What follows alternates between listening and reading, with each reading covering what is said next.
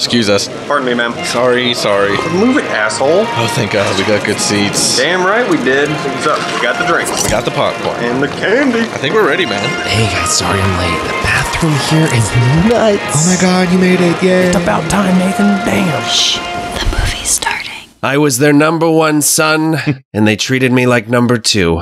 And I'm just a stupid corn dog. Corn dog, corn dog, corn dog. and this is the Silver Linings Playlist, a podcast that tries to find the silver lining in some of cinema's bleakest endings. I can practically hear the glasses and uh, blazer on you from here. Mm-hmm. I- I'm doing that thing where I blow wind from my bottom lip to like push the bangs out of my hair. Sure, sure. Yeah. Uh-huh. Nathan, welcome. Uh, this is the day after Christmas. Yeah. But I'm still in the Christmas spirit, so I'm glad this we're doing this movie today. Yeah, it seemed right. It it does. as we're recording this, it, I, I have already, you know, we're rec- recording this earlier in December, but I, I have already started my Christmas movie viewings in earnest. Mm. Had a great weekend. Watched uh, uh, w- with my lady friend. We watched Anna and the Apocalypse. We watched uh, Black Christmas. We watched. Uh, yeah, it's a feel good stuff, right? Mm-hmm, then this, followed by "It's a Wonderful Life." So Boy. just like, what a day! This this has kicked off my my Christmas viewing list. Yeah, I haven't gone to my second movie yet, but this is starting it. what a start! What a relief to watch a good movie after last week's fucking fiasco. Well, it- the different values of good, but yes, I will. I'll watch. I will watch a Batman Returns a thousand times before I ever even think about the last week's movie again. Mm-hmm, mm-hmm. Which will go unnamed. We will not no, it's name the Voldemort of the show. Yeah, yeah, never again. Speaking of Voldemort, where's Mallie?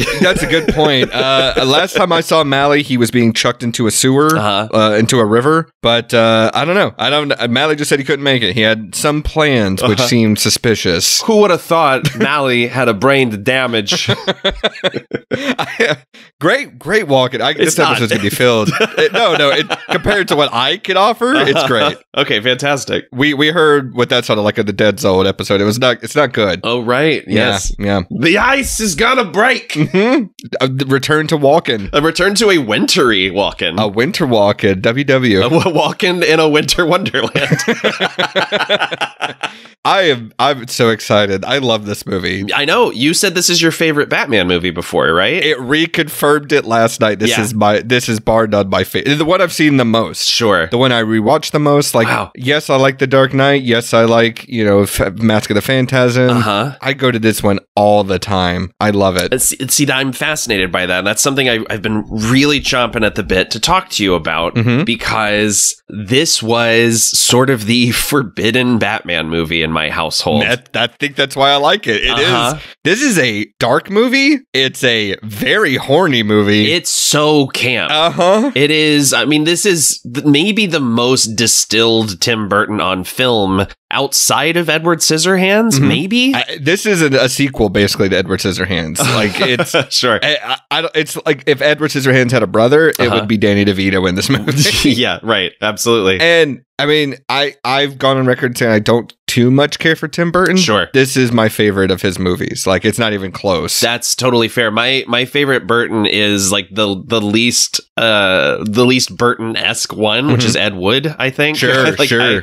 I, I love that movie, but uh, yeah, I I, I kind of have the same thing where I'm sort of. I, I get a little tired of the style over substance and also just his fucking attitude. yeah. well, see, that's why I like. I don't get lost in his normal aesthetic choices in this movie. Like Uh-huh. I don't like stop motion, and I know he's done some stop motion stuff. sure. and- well, he's put his name on other people's Yes. stop motion stuff. That's what I meant. That's what I meant. yeah. And I don't know. So I don't get lost in the aesthetic here because I think it fits. Like Yeah. this movie feels just, I don't know. I'm going to say something blasphemous. I Uh-huh. prefer this movie more than Batman 89. So it, it's impossible for me to uh, be objective Of course. in any way about Batman 89. Like Sure. I, I talk, I was on an episode of the VHS files that like famously went, I think two hours and 40 minutes Woo. because I can't stop talking about how much I love that fucking movie. Sure. And I get it. I, it's a great movie. I just prefer this one. Well, in in both movies, I see the cracks. Mhm. I see that it's a mess. This movie only has one credited screenwriter, but you can feel the other drafts trying to punch their way through the ice. Sure. Uh, And and it comes down to this thing that I have about Tim Burton where whenever he's adapting different properties, he acts like he's above them. Uh, yeah. There were there's I mean there's that infamous quote from Kevin Smith where he said Tim Burton said anyone who knows me knows I would never read a comic book. Yeah. And when you read interviews with Daniel Waters uh, working on this movie, he was like, I hated Batman. I don't like comic books. I don't care what the fans want. Yeah. Like, which I kind of appreciate in that they're they're going for it, they're doing their own thing, but it, it is also it's clear from the first movie and especially in this one, Tim Burton has little to no interest in Bruce Wayne slash Batman. I know. He's all about the grotesques. this is a Catwoman movie and Uh-huh. a Penguin movie split down the middle. totally. And at some points, it forgets both of them exist, Like- Uh-huh. or it forgets the other exists because or like, it introduces new rules Yeah. and new motivations Yep. between scenes. I mean, the the reveal that Catwoman has nine lives is just dropped casually an hour and twenty minutes into this movie. it's insane that there's supernatural magic occurring in this movie, and no one bats an eye at Yep. it. No, pun intended. No one bats an eye at this shit. It's, I, I, I don't know. You know why I like this movie more than any other Batman movie? What's that? It got away with it. sure. This movie, like McDonald's had to pull the Happy Meal toys from this movie because of parents complaining about. there is an unbelievable quote. So the Los Angeles Times was like running angry letters from parents to McDonald's. Mhm. And there was a letter dated June 27th, 1992, with one of my favorite quotes I've ever read in my life. Why on earth is McDonald's pushing this exploitative movie through the sales of its so called Happy Meals? Has McDonald's no conscience? Boy, irony is dead. Yeah. Like satire's dead. It's all dead. it's so fucking funny. But but this movie, there's you know why there's there's blood in this movie. Uh huh. There's Danny DeVito says the word pussy. Pussy. Christopher Walken says poontang. it's they gotta this you. I know this is like a, a a phrase that I cringe at when I hear, but you truly could not make this movie today. Yes, no, absolutely. And what's so funny is that that's another thing that kind of comes out of nowhere is the penguin is suddenly ex- exclusively horny at the hour mark. So fucking horny, Like, like that's never Oh. been a that's not a thing for his character Nope. until he sees two women and Yeah. then he's like, ah, my French flipper trick. yeah, I forgot. I like women. I like the broads. I'd like to fill her void. Oh, Like, more. this is also a movie that is th- these performances are broad and insane. They are going for it. This Ugh. is uh, maybe a controversial uh, statement here. oh boy. A career best performance for Danny DeVito. I mean, he is he is. This is like almost Oscar worthy. It I swear to God, It he's is. so fucking good in this movie. So I put it together last night. Th- yes, this is a campy movie. Yes, But everyone involved knows the movie they're making. Yes. And it makes not only the performances feel more genuine, Yeah. it makes the characters in this world, like this world feels f- almost fully realized. There's Yes. a couple of issues I have with it, but I even think this is a, one of the career best for Michelle Pfeiffer. I think she's fucking incredible in this movie. she's unbelievable in this movie. Uh, Keaton's having more fun in this one. I was going to say the weakest performance is probably Keaton. but he's he's given nothing to work with. Like Not- Bruce is a Ooh. non-character, and so so Keaton is resorting to doing some mugging. He's Uh-huh. doing some like uh, awkward Mr. Mom stuff. The bit where he sits down at the desk and chucks that report over at Christopher Walken Oh, is it. like. I'm like, hell yeah, there's no way that was on the page. That is Uh-huh. all MK. Well, I, I I clocked it. Bruce Wayne doesn't have a line until 35 minutes into the movie. right. Batman doesn't appear until 14 minutes in. Yeah, and I don't think he has much of a line either, really, until he first meets the Penguin in the Batman costume. I don't think. It's it's his first Batman line in the movie is when Commissioner Gordon, the worst police officer of all time, is just oh like my god, the laziest motherfucker ever. Oh my god. he says it looks like the circus gang is back, and Batman goes, "We'll see." And I'm Yep. like, "What do you mean we'll see? You just fought clowns." God, there's so I, there's so much I want to talk. I Yeah, took yeah. so many notes. I we gotta we gotta get going. We gotta Yeah, get going. I'm, I'm like, One last thing I'll say. Yeah. Our relationship with this movie. yes, oh yes, duh, yeah. I think this is a situation where it's kind of like TMNT one and 2 It's Uh-huh. like which one did you first see, which one did you grow up with, kind of thing. Which one did you have on VHS? Exactly. Yeah. And as someone who had both, TMNT two was the first one I watched, so I gravitated more to that one. Sure. Since then I've come around to loving the first one a, a whole a whole lot. That was how I was too. I watched Secret of the Ooze so much. Mhm. And then I, when I was like 11, I think I got a DVD of the first one and I was like, this is like the best. This Yes. is the best movie. yes. And Batman Returns and Batman 89 that we had on VHS, but for whatever reason, I gravitated, I saw Returns first and gravitated to that. Wow. Played the NES games and stuff. Uh huh. But, and I think I've talked about this on the show before. Uh-huh. The real reason, and it's no surprise, as a young boy, uh, Michelle Pfeiffer does a whole lot She sure does. for, for me. Sure. And I was discovering some new things about myself last night too. Uh-huh. I was Uh-huh. like, Yeah. this is uh Yep. I don't even know how to say it without being crass, but this is this is this is, this does it for me. This this is it. No, I, absolutely. I, I was trying to. I was trying to. I was having the same thoughts and saying things aloud, like, "Uh, yeah, this was like a big deal for Uh-huh. Teen Nathan." Oh, I should mention. I should mention. I Priscilla's never seen this movie. Right. We watched. I put it on last night, and I was like, I, you- "You're gonna, your mind's gonna explode when you." And Yeah. she was losing it. Like this was a ball for her. Yeah. Danny DeVito's little grunts. Like, she was like, "I don't like this." This was this was a first watch for Ashley too, and it just like fucking like she was like, "I cannot believe Uh huh. this movie exists." I know. and. And by the end of it, she was just like, "That is so much more entertaining than it has any right to be." Yes. So for for me as a kid, I saw this in theaters opening weekend. Oh, you lucky bastard! Oh, I was too young to see the first one. The first one came out when I was a year old. Sure. But I had the VHS tape and literally watched it so many times that the box like disintegrated. yeah, So I just had a tape of it like loose. yeah. Uh, that I watched all the time. And then this one came out, and I remember it's my first, my earliest memory of my parents covering my eyes during a movie Uh huh. very specifically remember my mom like like throwing herself over me when Max Shreck's like obliterated body shows up at the end of the movie. Oh my god, yes. He's a literal skeleton with Google eyes. It's Yes! incredible. And I remember uh, uh, like very vividly being in the theater and when the penguin says that's just the pussy I've been looking Oh for. God. I Oh said my it, I repeated it. My dad was like, Don't say that. You can't, say that. I, I've been walking around telling Priscilla I'd like to fill her void, and she's fill her void. she's not a fan. Wow, like- wow, ama- amazing that she doesn't think that's cool. Yeah, who would have thought? Yeah. but also as when Michelle Pfeiffer first get the costume, I was like, Priscilla, I was like, she goes, I get it. She goes, you don't have to keep going. I get it. And I'm like, I'm like, but you don't understand. I was like, I, you, you have to wear this costume at some point.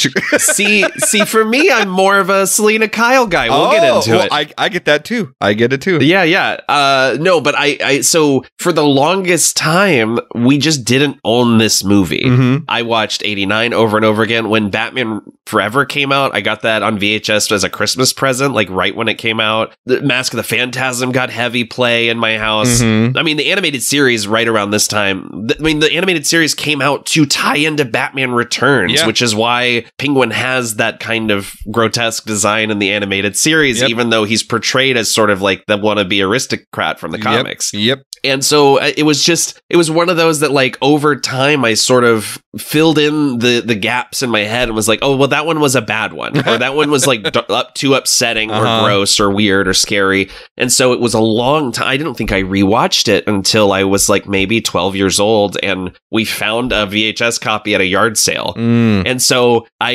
I rewatched it and was just sort of like taken fully aback by it because at that point, you know, we're well into the Schumacher era and it's Yep. as far away as you can get. And say what you will about those movies, they are a cohesive vision. Somehow. and they're a lot brighter and more fun. Yeah. But like this movie was just sort of like for the longest time I just kind of wrote it off as like the weird Tim Burton one. Oh. And it wasn't until I think maybe the Blu-ray release that I really gave it another watch and realized and I also think I was getting I was had a much greater appreciation for camp Mm-hmm. and for uh you know the art deco architecture and all this stuff and Oh my like god, yes. it is a, and what's so amazing is it's not Anton. I mean, Anton Furst, the production designer, of the first movie, uh, had committed suicide after the first movie came out, and Mm. rather than keep those sets standing, Tim Burton just hired some uh, Bo Welch to like kind of build off of that, and so Mhm. it becomes this sort of more f- futuristic. It, it almost gels more with the animated series, that kind of Art Deco style. It does that that first wide shot when we get the cars. Yeah. this is 33 years later. That is straight out of the animated series. Like it's, One hundred percent. It's incredible looking. I love it. And so watching it now, I, I still am just like, well, this is barely a Batman movie, Mhm. but boy, howdy, is it a fun sit. But also, people make the same comment about The Dark Knight. It's barely a Batman movie there too. I agree. I, I I'm more of a Batman Begins guy. Fair that's enough. co- that's my hot take about the Nolan movies. fair, hey, fair enough. I last thing I'll say before we get into it is yeah. I miss when I mean it'll never happen again, but I miss superhero movies like this. Sets? I miss sets. I miss low stakes. Sure. I mean, I loved the Batman with Same. Robert Pattinson. It's fantastic. But ever since like we had to like completely go in the dark gritty route with Batman Begins, we haven't gotten a campy superhero movie. Right. Like this is camp. I don't know that we'll ever get a fun Batman movie again. It's upsetting. Yeah. Like I really would love just just go for it. Just make it goofy. You don't have to go Adam West. You don't have to go Joel Schumacher era. Like Which just is like, I think that's what Ben Affleck's solo movie was supposed to be. Was I- like this big taking on all the villains kind of movie, and I kind of wish that we had gotten that in I an do too. alternate universe. I think he's a really good Bruce Wayne and Batman. I agree. I will say he just didn't get the right material. I yeah, I'd love to see him in a good movie as that Mhm. character. Me too, and it'll never happen. No, which is I mean, upsetting. and I gotta say, we're recording this amidst a lot of like bummer Batman news, Yep, right? A lot of DC, like this is right after James Gunn has been like everything's scrapped, basically. Yeah, which I I I, I understand. Yep. There's a there's a universe that barely holds together. You got to restart. But like we just found out that there was maybe going to be a Batman Beyond movie starring the lead actors of this film. I know Uh, that that that I'm now. That was the only news that came out besides Man of Steel two being canceled. Uh-huh, Basically, that bummed you out. that bummed me out was Yeah. them being like, "Oh, we could have gotten Michelle Pfeiffer and Michael Keaton back," and I was like, "You fucking, you fucking asshole." I mean, there are Michael Keaton has shot footage as Batman for three films, one of which has been scrapped, one of which they deleted his scenes, Mhm. and one of which stars a, a terrible person. And maybe I don't know when the I don't know if the Flash can come out. I don't understand. that, that movie will. I'm I'm putting it now. That, it- that movie will never come out. No. it's it's worse than the New Mutants at this point. It's never coming out. Yeah. Don't even get your. Don't hold your breath. No. it's never coming out. No. and I don't care. Right. I don't no, care same. I just I was excited to see Michael Keaton again, and the fact that they've shot three different movies and it's just not happening is insane. It's a curse. It is. It's a, I mean, it, the same thing with him not coming back for Batman Forever. It's a cur- like making Batman movies are centered around the Bat- Michael Keaton Batman Bruce Wayne version. Yeah. It's never happening again. No, and uh, and also we're recording this uh, a little over a month after the uh, the passing of Kevin Conroy. Yeah. the, I mean, who we talked about. Has it really been a month already? Yes. Holy shit. we talked about at length in our Mask of the Phantasm episode last year, but just like the the greatest, the best to ever do it. yeah, the definitive Batman, Kevin Conroy. Uh huh. Okay, well now that that's now that I've bummed out, uh, now that I've brought the room down, let's talk about this monstrosity. let's do it.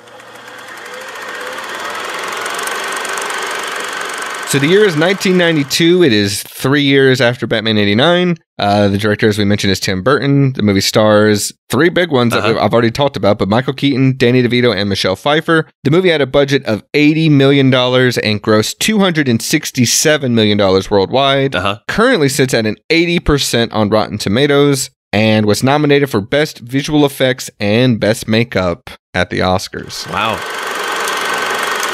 Not surprising. The No. penguin is haunting. Yes. It- Yeah, I mean th- that was honestly a huge reason why my parents were like, "We're not buying this movie." Is the Mhm. penguin is not only making like tons of sexual jokes, but he's always just got black shit coming out of his mouth. the bile is uh, it's so extra, but I I wouldn't trade it. I wouldn't trade it for the world. Yeah. It's it's so the sharp teeth, the Yeah. sunken eyes, uh, his little penguin ass. Like it's yes, it's it's again Oscar worthy performance. Like it's unbelievable. he should have been nominated. You Like, made a superhero movie where the villain is the Elephant Man, I know. Like, what the fuck? I know, and gives and gives a patent speech. It gives Like, a patent speech and also flips Ugh. the Elephant Man speech. I know. Yeah. I, like I, in some weird world where if like Heath Ledger had won for the Joker and the Dark Knight, and then this movie came out afterwards, Uh-huh. Danny DeVito would hundred percent would have been nominated. Sure. Like we didn't take superhero movies seriously until the Dark Knight. So No. it's it's unfortunate, but yeah, I agree. This is an insanely good, weird performance Right. that it he just went for it and he fucking delivered. Yeah. and I'm so happy he did. well, and that that even wasn't even the original plan. Yeah. Like they started production with the idea for a movie just called Batman 2, Mhm. which would have picked up immediately after the first one. yeah, and Vicki Vale was going to be in it. There was going to be a wedding. Yeah. yeah. Sam Hamm's idea for it was it was going to be all about Two Face.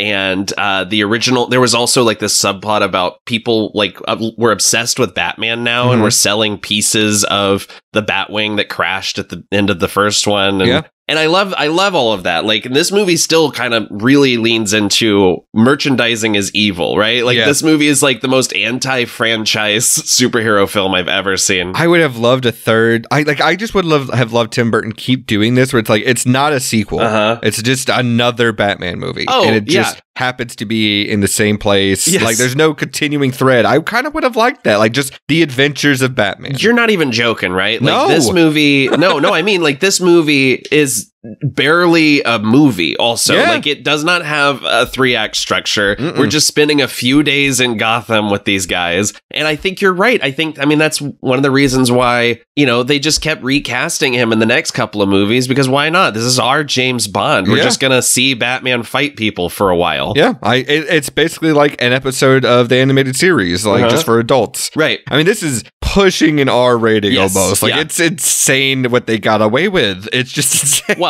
it's because Tim Burton didn't like Sam Hamm's script. The studio wanted the Penguin. Burton wanted Catwoman. And then Burton also was like, look, I made you half a bill for the last movie. Yeah. So let me do whatever I want. And they were like, okay, sure, whatever. yeah. And he's like, you know what movie I liked? Heathers. That Mhm. guy should write a Batman movie. Uh huh. Uh huh. And uh, I've also seen uh, the Cabinet of Dr. Caligari. And Oh, sure. All this other like this movie is so bizarre. It's it's pulling from so many different areas, and yes. it doesn't work. No. but it's still fun. It's still a fun time. a microcosm of why this movie, how this movie operates, like logically and from a design perspective, is Max Shreck. Okay. Mm. First of all, a character played by Christopher Walken who looks like a cartoon character. Uh huh. Has like this insane wig, giant eyebrows, uh, runs a department store uh, chain called Shreck's, and his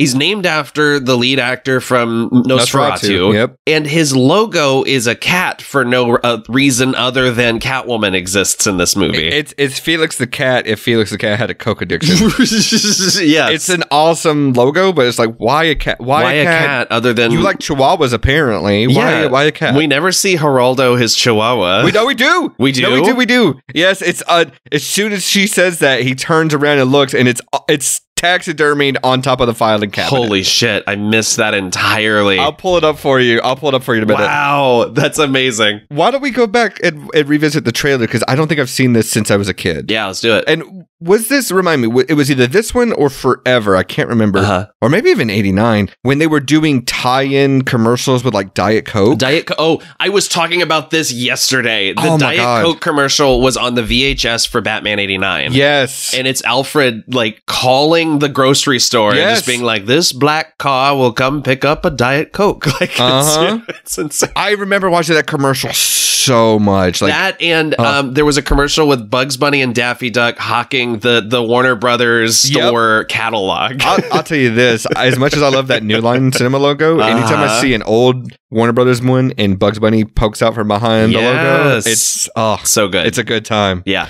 All right, but let's revisit this trailer, and uh, I'm curious to see how they marketed this movie because I do not remember this trailer at all. Yeah.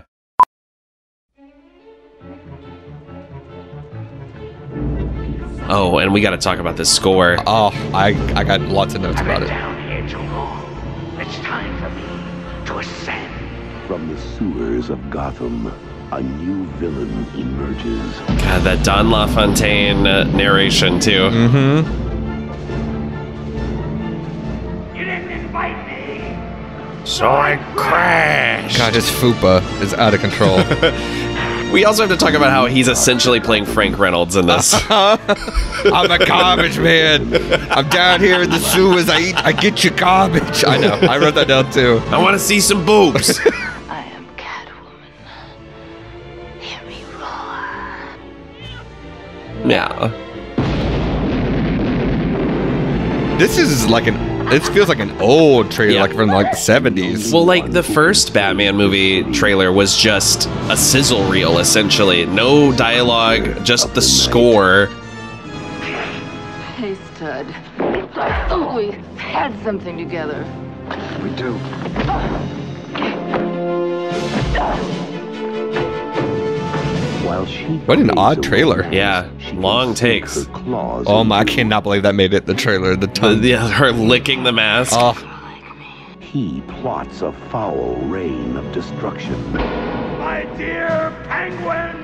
Jesus Christ. oh my God! They put the remote controlled penguins in the And then this, the third act was rewritten by Wesley Strick, who was also eventually went on to work on uh, the Nick Cage Superman movie that didn't get made. Hmm.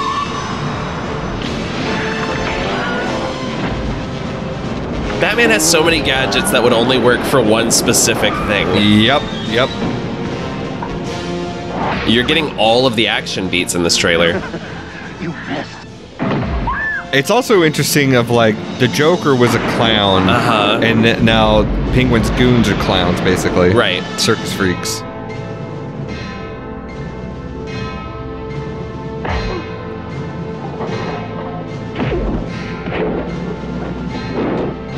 Cut out the casual murder. Above Yep. Gotham looms its greatest hero. What? It's so crazy because like at this point, Uh huh. Michael Keaton did the original. Yeah. Michelle Pfeiffer had done Scarface. Danny DeVito had done Once a, uh, One Flew Over the Cuckoo's Nest, and it's Mhm. like this is a massive movie. Yeah. especially with how much success the first one had. Yeah. And then, man, I I couldn't. I wish I could have been allowed to like see this day one and like fully appreciate this movie because And like kind of wild that like like Keaton did not get he got second billing in the in the first movie. Yeah. So like this is his movie. Mhm. Uh, in in a way that the first one wasn't, and it's just uh, it, I I don't know. I it's so funny that he gets top billing, and then he's also maybe like the character they care the fifth most about in the movie. It's it's not a Batman movie. It's it's a Catwoman slash Penguin movie. It's Mhm. kind of crazy. I would argue Max Shreck is the main character of this movie because everything depends on him. Almost, but look right there. There's the Chihuahua. Oh my god, there he is. Yeah, he he even when she mentions it, he looks back and and sees That's so funny. Yeah, God, he's got uh, what's his name? Arlie Ermy? Yes. Yeah. His eyebrows? Yeah. Yeah. No, he looks like a drawing. Like it's insane. Okay, we, I'm gonna go ahead and talk about it now because I I could not help but notice the parallels, Uh-huh. and I'm sure you know you probably noticed the same thing. But Max Shreck in this movie Uh-huh. is okay. oh boy. I'm trying to think of how best to word this. Oh boy. Max Shreck in this movie is what Donald Trump Uh-huh. thinks he is, Uh-huh. but when we see the penguin quote unquote running for mayor, Right. that's more what Donald Trump is actually like. So here's the wild thing is Mhm. this movie Max's plan hinges on the idea that like no one would ever knowingly vote for a corrupt businessman Mhm. in a to be to hold public office. So he needs to have this puppet, you know, candidate. Uh huh. And then also, the end of the movie posits that if we hear a political candidate say awful things, Mm-hmm. everyone's going to change their minds about them. Yep. So there's so many there's so many parallels. Uh-huh. There's saying horrible shit on a hot mic. Yeah. There's this one blew my mind. Putting kids in cages. Yep. I I could I my, I forgot that was a thing and Yeah. my jaw dropped. Just and then like there he Penguin might as well have said I could shoot someone on in Gotham Square and no one would blink an eye and Uh-huh. he fucking does. He does. He pulls a gun out. Yeah. He shoots at the at the crowd. Yeah. It's like I think genuinely if he wouldn't have done that part of it, yeah. even with the hot mic, he probably still would have vote got voted. Yeah. He would he would have won. He has rallies in this movie. Uh huh. He he's trying to like campaign outside of election season. Yes. Like yeah. it it was kind of fucking crazy like how many He's doing a misinformation campaign Yup. against Batman. Yeah. Yep. Totally. it was wild how much similarities there were. and you remember when when Donald Trump hacked the Obama mobile? and, and his little uh toy ride you see outside of Kmart. that's right. That's right. and I, I just he's groping like the Uh-huh. women when he's putting the buttons on them. Yeah, it's a he. It's so it's so upsetting. It's such an upsetting character. it's so crazy just how similar all. The, and Yeah. then like he he bites a guy's nose that gushes blood. Uh-huh. He makes a, uh, a sexual harassment joke about the the other woman. Yeah. and then Shreck is just like, uh, let's make a mayor. Yeah. Don't worry, we got it. We got this. I'm and he speaks mostly in sound bites Uh-huh. when, once he becomes like the candidate i mean there's no reason for for the penguin to turn around and scream burn baby burn unless you're planning to put it in a trailer oh Like- my god. and they and the fact that the penguin not like the fact that this movie references the Reichstag fire, like right it's fucking crazy. Yeah. Yes. fucking crazy. Like, and the fact that the penguin we didn't even know what that is. Like, there's so many plot holes just with like the penguin himself, Uh-huh. which I'm okay with because this movie fucking rules. Like, yeah how did he survive that long? Why did the onesie he was in as a baby stretch out to him? uh-huh There's no fucking way he's only 33 in this movie. no, absolutely not. Oh. Oh. that's the funniest thing. Is he gets sent down the river like he's Moses, Moses. and then we jump to his Jesus Yep. year. and then also, so Ashley, I think put this perfectly, where she was like, the first movie uh, is like a fun stunt show. Mhm. This one's like a dark ride at the amusement park. Yes. where you're just you're just like looking off to the side, and oh, there's the animatronic Christopher Walken. Oh my god, Th- there's just so much good stuff in here. Yeah. Like uh, we start with Pee Wee Herman, a cameo, doesn't have any Yeah, lines. and, and Diane Salinger Yes. with him too. Both of the leads are, are both from Pee Wee's Big Adventure. yes, this comes out a year after he gets caught in the the porno theater. right, right. And the movie still comes out. Like Uh-huh. he's not like that. I don't know if that could even happen today. yeah, Like it, it's kind of why again they got away with it. That's, That's my right. whole platform is look at just look at this movie. just look at it. just It's- look at it. There's blood, there's bile, there's sexual innuendos. It's it's fucking it's a good time. Yeah, and we got. I mean, we, I think the only way we can even like start to put this into words at 35 minutes in is to just go is to just go from the beginning, right? Yeah. Like we we have we have the the Cobblepots. L- little Oswald eats a cat in his crib, so he's already obsessed with pussy from like day one. The fucking the fucking doctor coming out and just holding back his vomit. He's like, it's like it's just a, it's just he just has uh, weird hands. yes, that's it. Like that, and and, a, and a presumably a hooked nose. yeah, yeah. But like I, from the beginning, this has a fully different tone from the first movie. I Uh-huh. mean, these two are like the, the little fake polite Merry Christmas nod that they do when they're like going to throw their child overboard. Dude, this movie is dark as fuck. Like, Yeah. first of all, the aesthetic is incredible. The snow with the gothic architecture, Gorgeous. the organ, Yeah. and the the sc- oh, the score is this is Danny Elfman's best work. It's He put his whole elfussy into this because, did. like, I He did. swear to God, I, I, I worship at the altar of the Batman '89 score, and Mhm. every time I watch this movie, I remember, oh, this one's better. yes. It's a better score. It's the best one. It is the best. and Yes. it's it's the score I can pinpoint from the first two seconds with the low horns. Even the Batman March has been like redone Mhm. and given like extra percussion, and there's just like ah, there it's it is a yeah, it's an, an incredible score. All the qu- choral stuff is so good. Uh huh. It's basically a silent film here at the beginning. Yeah. And it- for the like the cold opening takes a long time, but it's so fucking dark. This is a superhero movie where we watch the credits play over an abandoned child Yeah. floating through the sewers. Dude, the sewers that could fit the space shuttle in it. 100%, sewer is massive. Yeah. and I I don't know, man. I Danny Elfman's score, I it's the best Batman theme for me, Yeah. and it's so iconic that like he just redid it for Spider Man. Like Yes. you hear it, I I heard it this time watching. I'm like, Yep. oh, this is he just reworked this for Spider, and it worked for that movie too. Yeah, but that was one of my beefs about that score. As great as it is, is I'm just like it's kind of a Danny Elfman's greatest hits in Mhm. some spots. Mhm. That that what the best the best Spider-Man piece he does is the Doc Ock theme. Like Yeah. that shit slaps. and I'll I'll say something that many people may not understand or maybe maybe not even agree with, but I think this score is so iconic Uh-huh. that one of the the my favorite black metal bands, Dimmu Borgir, I'm Uh-huh. pretty sure they just ripped it off for one of their songs. oh wow. Progenies of the Apocalypse is it's got Danny Elfman all in that score in it because they, they use a lot of orchestral parts in it. But yeah. yeah, if you ever heard, you know, if you never heard it, go listen to that song. I'm Yeah, you, go check you- it out. You might you might understand, but eh, this opening fucking kicks ass. Yeah. Like I said, the the visuals are incredible. The score is incredible. It's so fucking dark and like this the little baby scream as he goes over the waterfall down to the sewer Mama. Yeah. is it's scary. It's like this movie is yeah. scary. As Yeah. fuck. yeah. and not for nothing, but Pee Wee Herman and uh, his his his lady there. Uh, uh, maybe don't put your child in a cage Right. to begin with. Maybe maybe that's not setting him up for winning when he's already down Sure. by being deformed. Not parenting of the year is my my point. Right. And uh and we I mean we flash forward to 33 years later. Exactly 33 years. That had to have been a decision, Right. right? Yes. Like it we got to make the Jesus comparison. Totally. Yeah. And it's time for his ascension and to, yeah, take his place. And uh, Alfred Pennyworth being mean to the world's oldest paperboy.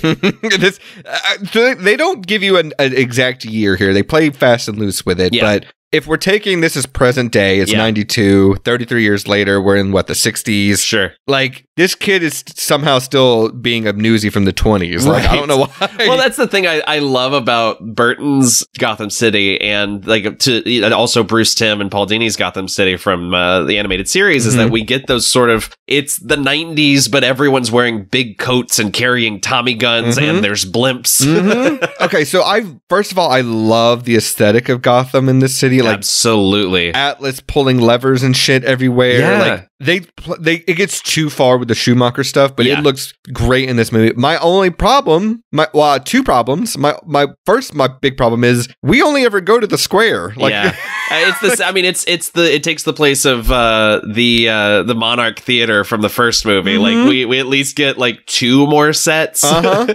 but I mean, this is the James Bond uh, soundstage. They're at Pinewood, Mhm. and and so they they built these. I, I I just love that I can tell that they're standing in a place Yep. that has been constructed for this movie. It's artificial, but it's cozy. Mhm. Like I, I love seeing something tactile. And people like to rag on these movies for being dark and dour, but this movie's so fucking colorful. It it's is. lit to perfection. It is so well lit. It's it's not so overly saturated that it's like bright bright colors, but the colors you do get, like when you see the Christmas present, yeah. coming out, the Trojan horse Christmas present Right. later, it is. So, it's so creepy, Yeah. but also like so bright and colorful that it's sta- it's so good. Yeah. Like the aesthetics of this movie are so good. But my second biggest problem Oh, boy. with Gotham is I think it's the population is about mm, 200 people tops. Uh-huh. Like why the lighting of this Christmas tree there's like 50 people there. Uh-huh. It's so insanely small compared to the wide. Ch- Yeah. Like the sewer system is designed for New York City, and it's like, oh, this is like a small town in Idaho or something. this movie would have you believe that most of the population of Gotham City is reporters. Mhm. Oh my God! There's so many microphones on the the the stage whenever anyone's giving a press conference. Right. So we we we cut to this this meeting with Max Shreck and the mayor, and Max's son Chip gets introduced, and this guy. Dad. This guy is just doing a Walken impression. That's all he's doing. So, uh, one of my besties and I will send this scene to each other anytime we watch this movie because we're obsessed with the sheer audacity. It's it's so funny. I do you think Walken like was in on that? He like understood that he was doing a Walken impression. It's like, what the fuck is this? Do you know who that guy is who plays uh, Chip? Isn't he a bodybuilder? he is. He's also he was Leatherface in the Texas Chainsaw remake from 2003. wow. Okay. Okay. that makes sense. He's a big guy. Yeah, he's also in like the second episode of Firefly. He's the dude that Nathan Fillion kicks into an engine. Wow. Okay. it really, yeah. So he's like been a touchstone for me weirdly. wow. Okay. So we should talk about Max's plan, right? Uh huh. So Gotham has a power surplus, as the mayor says, Uh-huh. and Shreck is trying to open up a quote unquote power plant because he says you can never have too much power, which just feels like a Trump quote. Right. But his actual plan is he's going to use it as a capacitor. Sure. And basically, he's also kind of Martin Shkreli in this instance because, like, it, he's basically doing the Dominic Greene plan from Quantum of Solace. Like, instead of water, it's electricity. Yeah, he's doing the he's pulling a Rango on us. Yeah, I'll get all the electricity and then I'll sell it back to you. Right. But then Selina comes in and says, I have, uh, you know, I, I have an idea or at least a kind of a question. She was she pulls the uh the thing you hate at con Q and A's where she's like, I actually have more of a more of a comment. Mhm. But then we don't ever hear it. right. I have no idea what her question is. But yeah, Shreck says we haven't properly housebroken her, Ugh. which a it's very sexist comment, but also b kind of foreshadowing the fact that she's quote unquote an animal like a cat. Like we have a housebroken her. But also, like this movie, like does a she's all that thing where Yep. I'm like, is there a second I'm not supposed to think that Michelle Pfeiffer isn't Michelle Pfeiffer? I Like, know. you know what I mean? they try. I mean, they make her very like mousy. They they put the glasses Big and the, glasses and pencils in her hair. I mean, but they might as I mean, it's that not another teen movie thing, right? Where Yep. they're like, oh, she's wearing a smock. Uh-huh. so, so you prefer this, or or do you prefer when she's already like converted? when she when she comes back Yeah. uh into the meeting uh between Bruce and Max later and And she's she's, being a girl boss, right? she's got the poofy hair Yeah. and and her collar is stretched up to heaven. yeah. Okay, I get it. I, Yeah. I'm not a big fan of the poofy hair. I like this kind of secretary-ish look. And I love the masquerade look at the end of the movie. Oh my god, the masquerade! She is a bombshell. Yeah. Oh my god. So, did you get a look at this? Whenever Shreck is talking, Uh-huh. and he's got a bunch of framed photos up behind him. Uh-huh. Did Did you see this at all? I might have missed it. Okay, let me see if I can find it here. I'm going to tell you what it is, though. Uh-huh. He's got they they did like some Photoshop work, like some Forrest Gump stuff, Uh-huh. where he's got framed photos behind him of him meeting celebrities. Oh no, I totally missed this. Yeah. dude, let me run, let me run you down the list of people I kn- I can definitely identify. Oh, fuck. Okay. So there's Sammy Davis Jr. him shaking hands with him. Uh-huh. He's he's shaking hands with Elvis. Okay. He's shaking hands with probably the least surprising Reagan. Okay, sure. And the last one is a young Arnold Schwarzenegger. What? I I I never noticed it until this watch. I disagree. In my head canon, he's shaking hands with a young Victor Freeze who's just just started to develop his cryotechnology. you know what? That's kind of brilliant that you can tie that stuff together. By the way, this shot of uh, of of him with his hands on the grates Oh, and watching beautiful. the tree lighting ceremony, love all of that. It's the framing is incredible. Like Yeah. it just I don't know, man. This is the only Tim Burton movie that I think looks this fucking good and like has this much of a clear vision. it's gorgeous. It's it's incredible. And and again, more Trump stuff. He starts throwing presents out like they're paper towels. Oh my god, you're right. Shreck. God. yeah. Santa Claus, afraid not. That's a great um like let me just wing this speech. That's another thing Trump does a lot going Yeah. off the books. Remind me to take it out on what's her name. Oh my god, yes. He's like, hey, remind me to berate that woman when I get out of here. right, right. But like, if Trump could have met Ronald Reagan and got a picture, which which maybe he did, like that's exactly who he'd have framed on his wall. Sure. It's so it's so clear to me now watching this as a 32 year old, like that's been through the rigmarole of 2016 onward. oh, 100%. yeah, no, the, the the the tossing the presents, like he's he's his line is, "I'm just some schmuck who got lucky." Yeah. So sue me if I want to give back. Give something back. Yeah. Oh, so cringe. Oh, Uh. the the fact that anyone buys this shit. Oh, What is he? He says, I, I wish I could put joy and unconditional love wrapped in a big bow. Uh, and then the giant Christmas present being wielded like a Trojan horse is maybe the funniest. It's somehow, again, it's somehow so fucking ominous and creepy. Yeah. And everyone just, all these clowns and these circus gang members just exploding out of this, this, uh, this giant present. One lands in the The tree. design of the like skull head with the Googly eyes, is so good. it's so good. And just man, uh, the red circus, the, the red triangle circus gang, as they're called. Uh, So there's a oh, we got to talk about it. Dude. There is the fucking devil is in this movie. yeah. The devil is in this movie. He sets a toy store ablaze Uh-huh. by breathing fire. And He bre- yeah, this fire breather, and then uh, apparently, in like, there's a scene that was cut from the movie where the the gang is like burning a store that's specifically Batman merchandise, Oh. which I think is really funny. yeah, I believe that. But this, as a kid watching this, because I'm like six or seven, maybe even eight when I'm watching it for the first time, this Uh-huh. shit gave me fucking nightmares. Oh, like, it's really? So, but in a good way. Like, Did it I- help that Batman immediately murders that man? God damn it. Okay, so yeah, we got to talk about this. So, Bru- Bruce's little brooding room with all his lights. well, even before that, because Uh-huh. one of the characters in this movie that doesn't get any screen time at all is the the uh, Jim Gordon. oh like, sure, he's in maybe two and a half scenes. yeah. barely in the movie at all. And in one of those scenes, he's showing confidential murder evidence Yep. on a on television. of an ongoing case, yeah. Yeah. But um, the giant guy that Batman then murders later on Yeah. throws a sled at a police car. It- Jim Gordon's in it. Right. He immediately gets on the radio and says, "What are you waiting for? Get the, get the Batman on the phone." I'm like, he says, hit the signal. "Do you want to try any police work? No. like any at all." Not at all. That's what I'm saying. They've gotten lazy. Yeah. The Gotham PD has gotten so lazy. But yeah, th- this this weird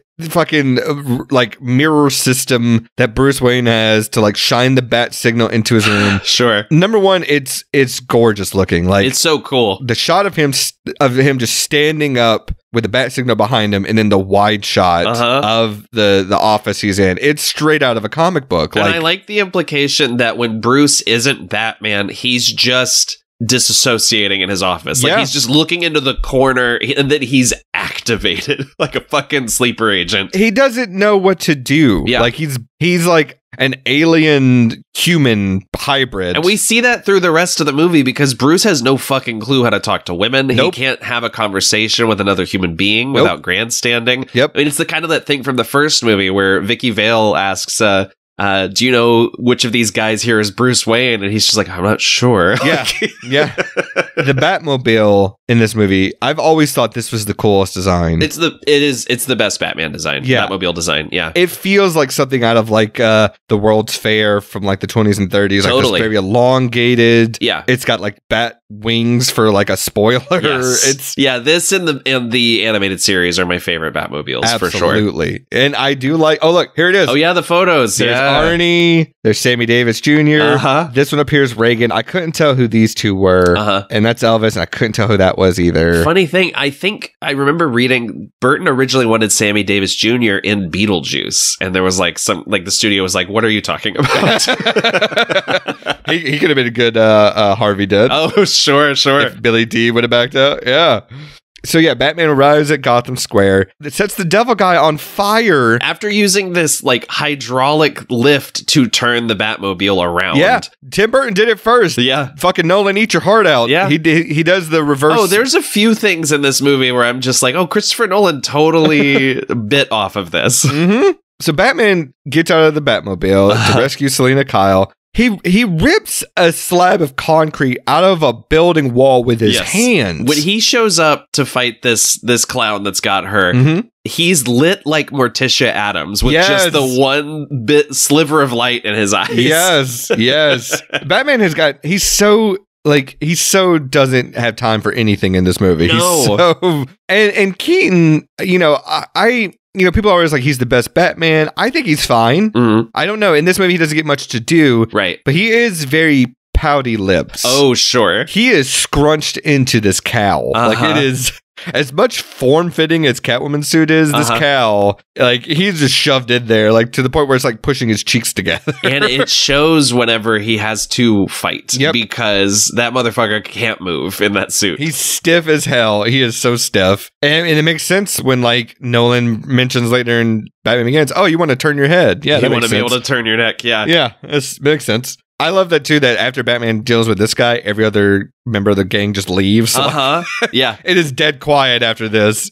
And uh Selina gets the taser with the little cat ears on it. Sure. Which I thought was cute. She tases this guy that's already down. And the, the taser comes back in one of the most baffling moments of the movie. oh, you talking about the ending, right? yeah, yeah. I love it. I feel like I love I love it too. It's nonsense, It's nonsense, but, I love it. Yeah. That's that's the that is the log line for this movie. Yeah, that would be my pull quote on the box art. It's fucking nonsense, but I love it. Uh, also nonsense. Gotham uh, has a just closed Arctic theme park that's Mhm. never been demolished, never been like reused for anything. Yeah. and uh, a whole bunch of supervillains are living there. and I thought you were going to say, speaking of nonsense, the one great. he falls through a Scooby Doo trap. What He the fuck? What, the one part in the city he shouldn't stand, and he Uh-huh. Manages to find it. Uh huh. but I love that it's just this movie doesn't care. It's like, yeah, he fell through a trap door. So what? Yeah. I fucking deal with it. Yep. Yeah, Christopher Walken sees Danny DeVito as a penguin for the first time and almost he has to hold back vomit. He's like, I think the word you're looking for is. Ah! which is great, great first line, great introduction. And also the truth. I would probably be screaming too. 100%. Yeah. Uh, it's so good. Yeah, the black bile coming out of his mouth. Ugh. Hey, Max, I'm Fred's hand. Yeah, Fred. I wrote down Fred's dead, babe. It's so good. It's so good. so you know, Penguin brings Shreck down here. Right. And he's like, you know, I've got all this dirt on you. Everything you flush down the toilet, I find. You flush it, I, I flaunt, flaunt it. it. Great line. Which is, again, that's basically me like, I'm the garbage man. right, right. And his plan is like, you're going to help me find out who my parents are. Right. Right. But then it's implied later that he knew all along. Yeah. So that there I cannot track. So it's a cover. It's a cover for him to get the names of Gotham's firstborn children. Okay. That's what he's doing in the Hall of Records later. Sure. It doesn't explain No. We'll, we'll we'll talk about we'll talk about Batman's shifting motivations in just a little bit. Yeah, yeah. Well, it also doesn't help that it's never explained why specifically he wants to just. I guess because he's angry at his parents. I that he wants to take yeah. out. Yeah, but that's never fully explained. No, because it's also implied through Batman looking through older like microfiche and stuff Mhm, mhm. that the penguin's just been kidnapping and murdering children for decades. But that's something you'll you'll miss very easily. Yeah, he went with the gang. Yeah. he was like a little circus freak. and Yeah. went around town murdering a bunch of children. Yeah, so weird. so bizarre. So Michelle Pfeiffer comes back to her apartment. Uh-huh. Every time she comes to her apartment, it's fucking great. They're laying it on thick. It- but it's so good. Oh no, it's really good. I forgot I'm not married. She's like pouring milk and It's so fucking funny. Yeah. It's like it's it's a one woman show. Oh, like she opens the door, honey, I'm a home. Oh, that's right, I'm not married. It's a boyfriend we never see breaks up with her over a voicemail. voiced by Tim Burton himself. oh, is that right? Yep. That's yep. funny. Some appendage. Yeah. He's like, I can't be just a dick for you. Like, Right, right. and man, remember Murphy beds that you could just pull out of a wall? Like I know they were like they were played as like the ultimate side of like having no money. Oh, you're down on your luck. Yeah. but that's great. Uh, no, for for me as a kid, uh, like I my concept of Murphy beds, I remember seeing this movie for the first time and being like, "Oh, that's what Eddie Valiant has." Yeah. in Roger Rabbit. Yeah, I thought it was the coolest shit. I'm like, I oh, always thought they were cool too. I could have more fucking room to hang out. Yeah. yeah, exactly. So Selina's never seen a movie before, apparently, Sure. because she has to go back to Max's office and she just starts detailing his plan out to him, his Sure. evil plan. yeah, she says I, I pulled all the files on the Wayne deal and the power plant. It's gonna steal power. And he goes, How industrious. yeah, he goes. She goes. I guessed your password. It was the name of your Chihuahua. And he's Right. like, ah. And she's like, Well, I- it's a I would say it's a it's a really brilliant plan. And he goes, Who would you say this to? Yeah.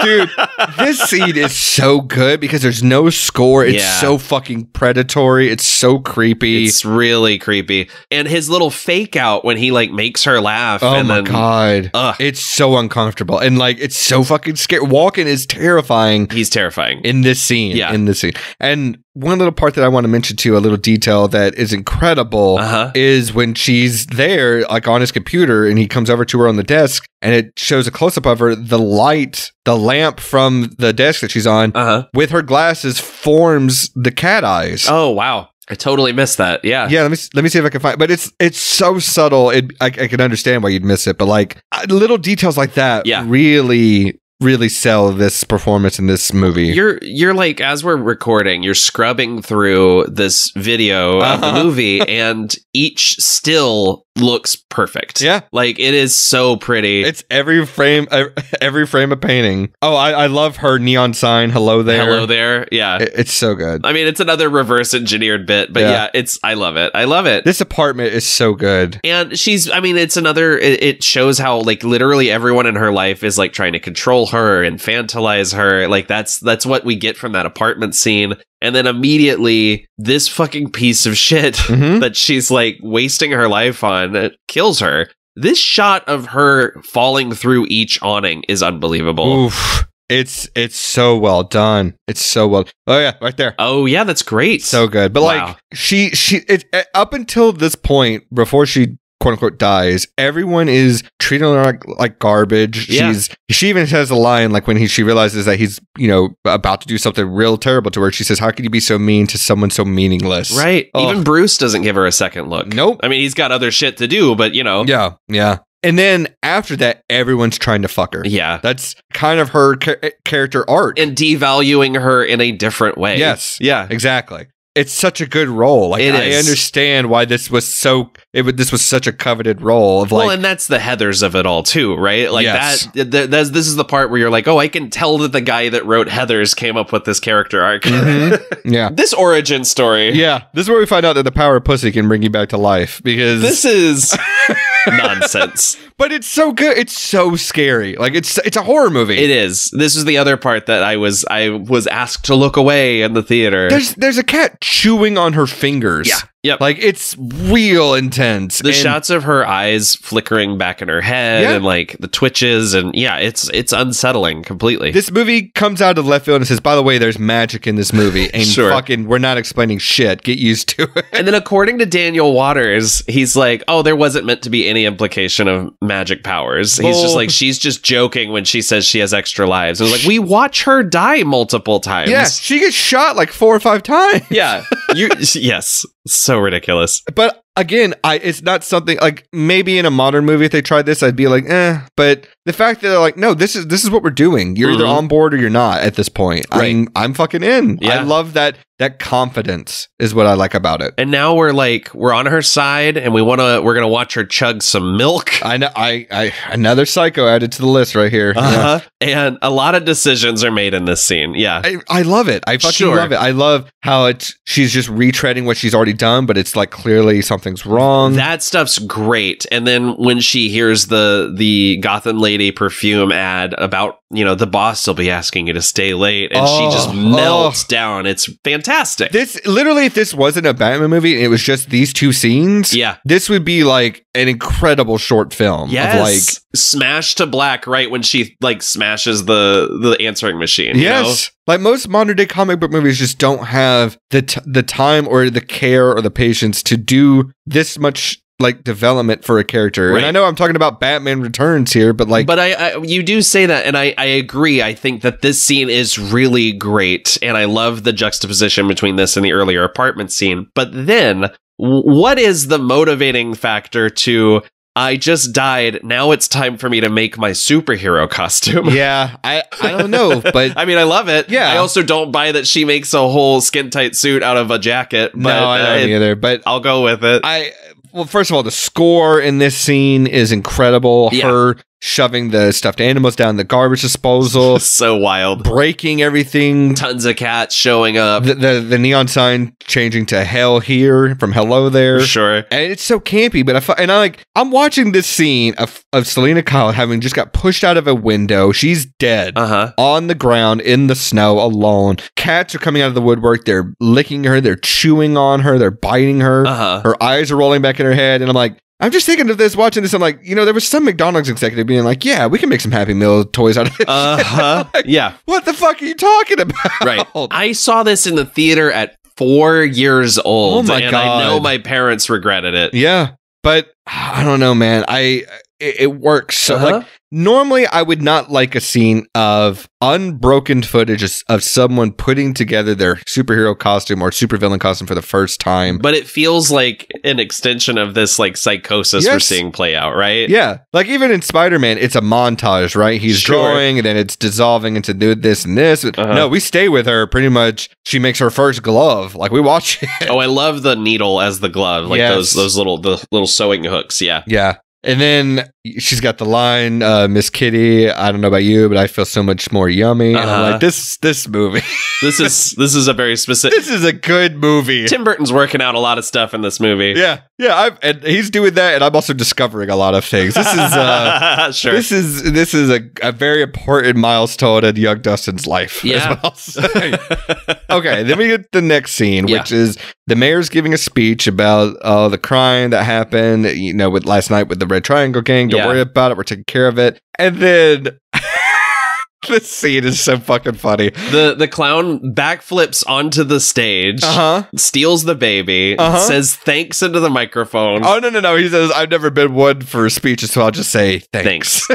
it's great line. does a somersault into a manhole and then we hear like the it, it, this is the most clearly staged thing Mm-hmm. Mm-hmm. oh no it's the hideous penguin man here Uh-huh. take the baby Uh huh. i love it Do you know who that that uh, acrobat guy is? no I might blow your mind here. That's Mac's dad from It's Always Sunny. no. Yeah. What? Yeah. Yeah. Amazing. I got. I've also, but here's the thing. I also have heard that it's Doug Jones, but I don't think it's Doug Jones. Doug Jones plays uh, another clown in the movie. He's Okay, like okay, he's okay. like the really tall, thin clown in the remote controlled battering Yes. scene. Yeah. That's right. Yes. That's amazing. But yeah, the fact that anybody falls for this, it's so fucking funny. And then like, it's never explained, but Penguin's got an obsession with rubber duckies Uh-huh. in this movie. I don't know why. I- I'm assuming the ducky thing comes from Arctic World. It's just a leftover prop, but it's weird that that becomes like a, de- like a defining visual element in this movie. Th- there's something with a rubber duck. I'll talk. Well, the, with the the whole rubber ducky aesthetic that I'll talk about later. That just it's it blows my mind. But okay, but yeah, everyone is just like, "Oh, penguin, it's so normal that you're here to help." uh huh. But we cut to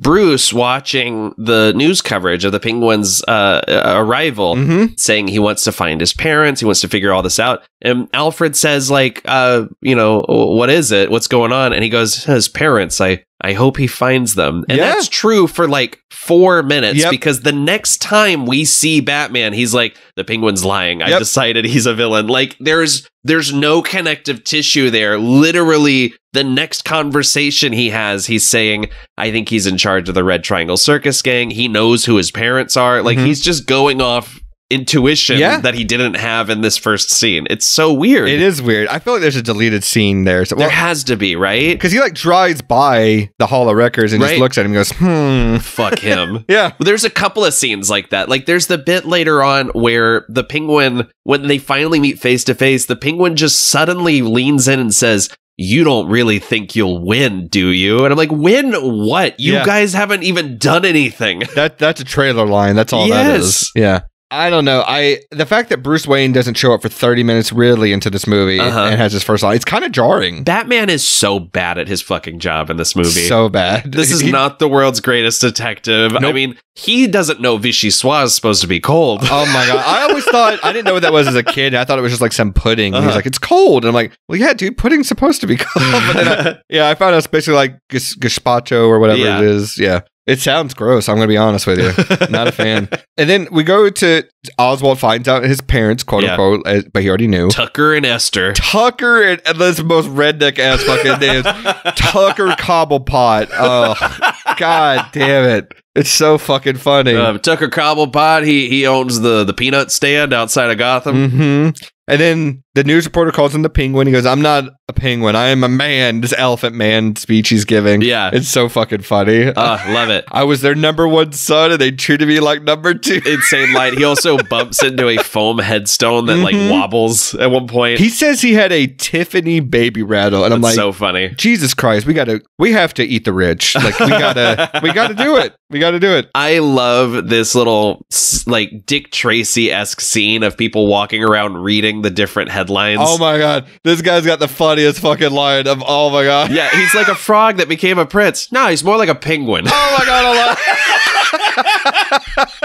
it's Oh, the best. I had never noticed that line before this watch. I lo- I had to pause the movie. it's so fucking funny. Uh, no, he's more like a penguin. so good. uh, and then, okay, so this woman's getting mugged in the back alley, Uh-huh. and we get introduced to Catwoman for the first time. Oof. And I, I just wrote a lot, all cats. This movie's doing a lot for me now, too. Yeah, Catwoman has some problematic dialogue here, though. Uh huh. So she, she, this is where we, we get blood. We get sure. Yeah, up- no, she slashes this dude's face. Uh-huh, and in a tic tac toe pattern, as she says. Uh huh. And then I I love the character though of the woman being like, "Thanks, I thought he was gonna hurt me," and she just grabs her by the throat Yeah. and You make it so easy, is what she says. You can't you can't be sitting around waiting for a Batman to rescue. Uh huh. And then she backflips out of the seat into the pitch blackness. It's So funny. It's so extra. It's the the amount of fucking acrobats and stunts that she has to do in this movie Uh-huh. is so fucking funny. Yeah. It's so extra. It's, I keep wanting to know, like, wh- what was the costume situation like for for whoever is doing like the backflips and stuff? Mhm. Or are we? I know there's some, there's a couple of like little CG shots in here, Mhm. but like she had to be vacuum sealed into that costume. So Mhm. whoever's doing these backflips has to have some kind of give in their version of the suit. Yeah. it's it's so wild. I, this is hands down the best Catwoman suit. Period. Oh, like I, it's I disagree. really. I think this is it's so iconic. It's so like grungy. It is, but man, it. I have problems with the stitches that clearly don't connect to anything. oh, fair enough. I meant like the design as a whole. Like It looks cool, but it's. I mean, I. but it also feels realistic to this situation. Like it Sure. feels somebody who doesn't have access to anything just making a superhero suit. if we're talking live action suits, sure. oh, that's what I mean. Yes. Oh, okay, yeah, because like, like there's a billion others in the comics that I like way more. Oh, but sure, sure, sure.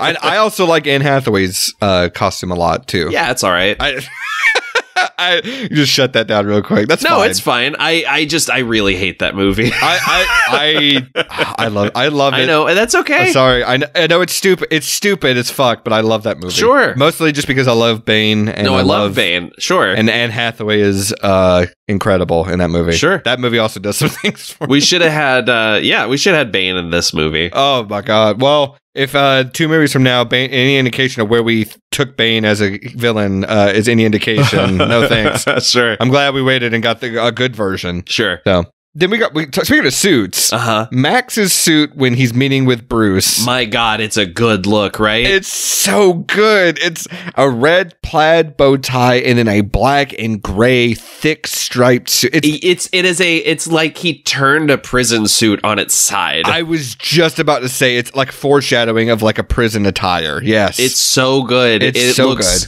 It looks great. Yeah. he looks incredible, and I mean the hair is ridiculous, but you nailed it when you mentioned Caligari earlier Yeah. because the whole movie Shreck is is costumed and tailored like he's in a German expressionistic film. Uh-huh. It's crazy. Uh-huh.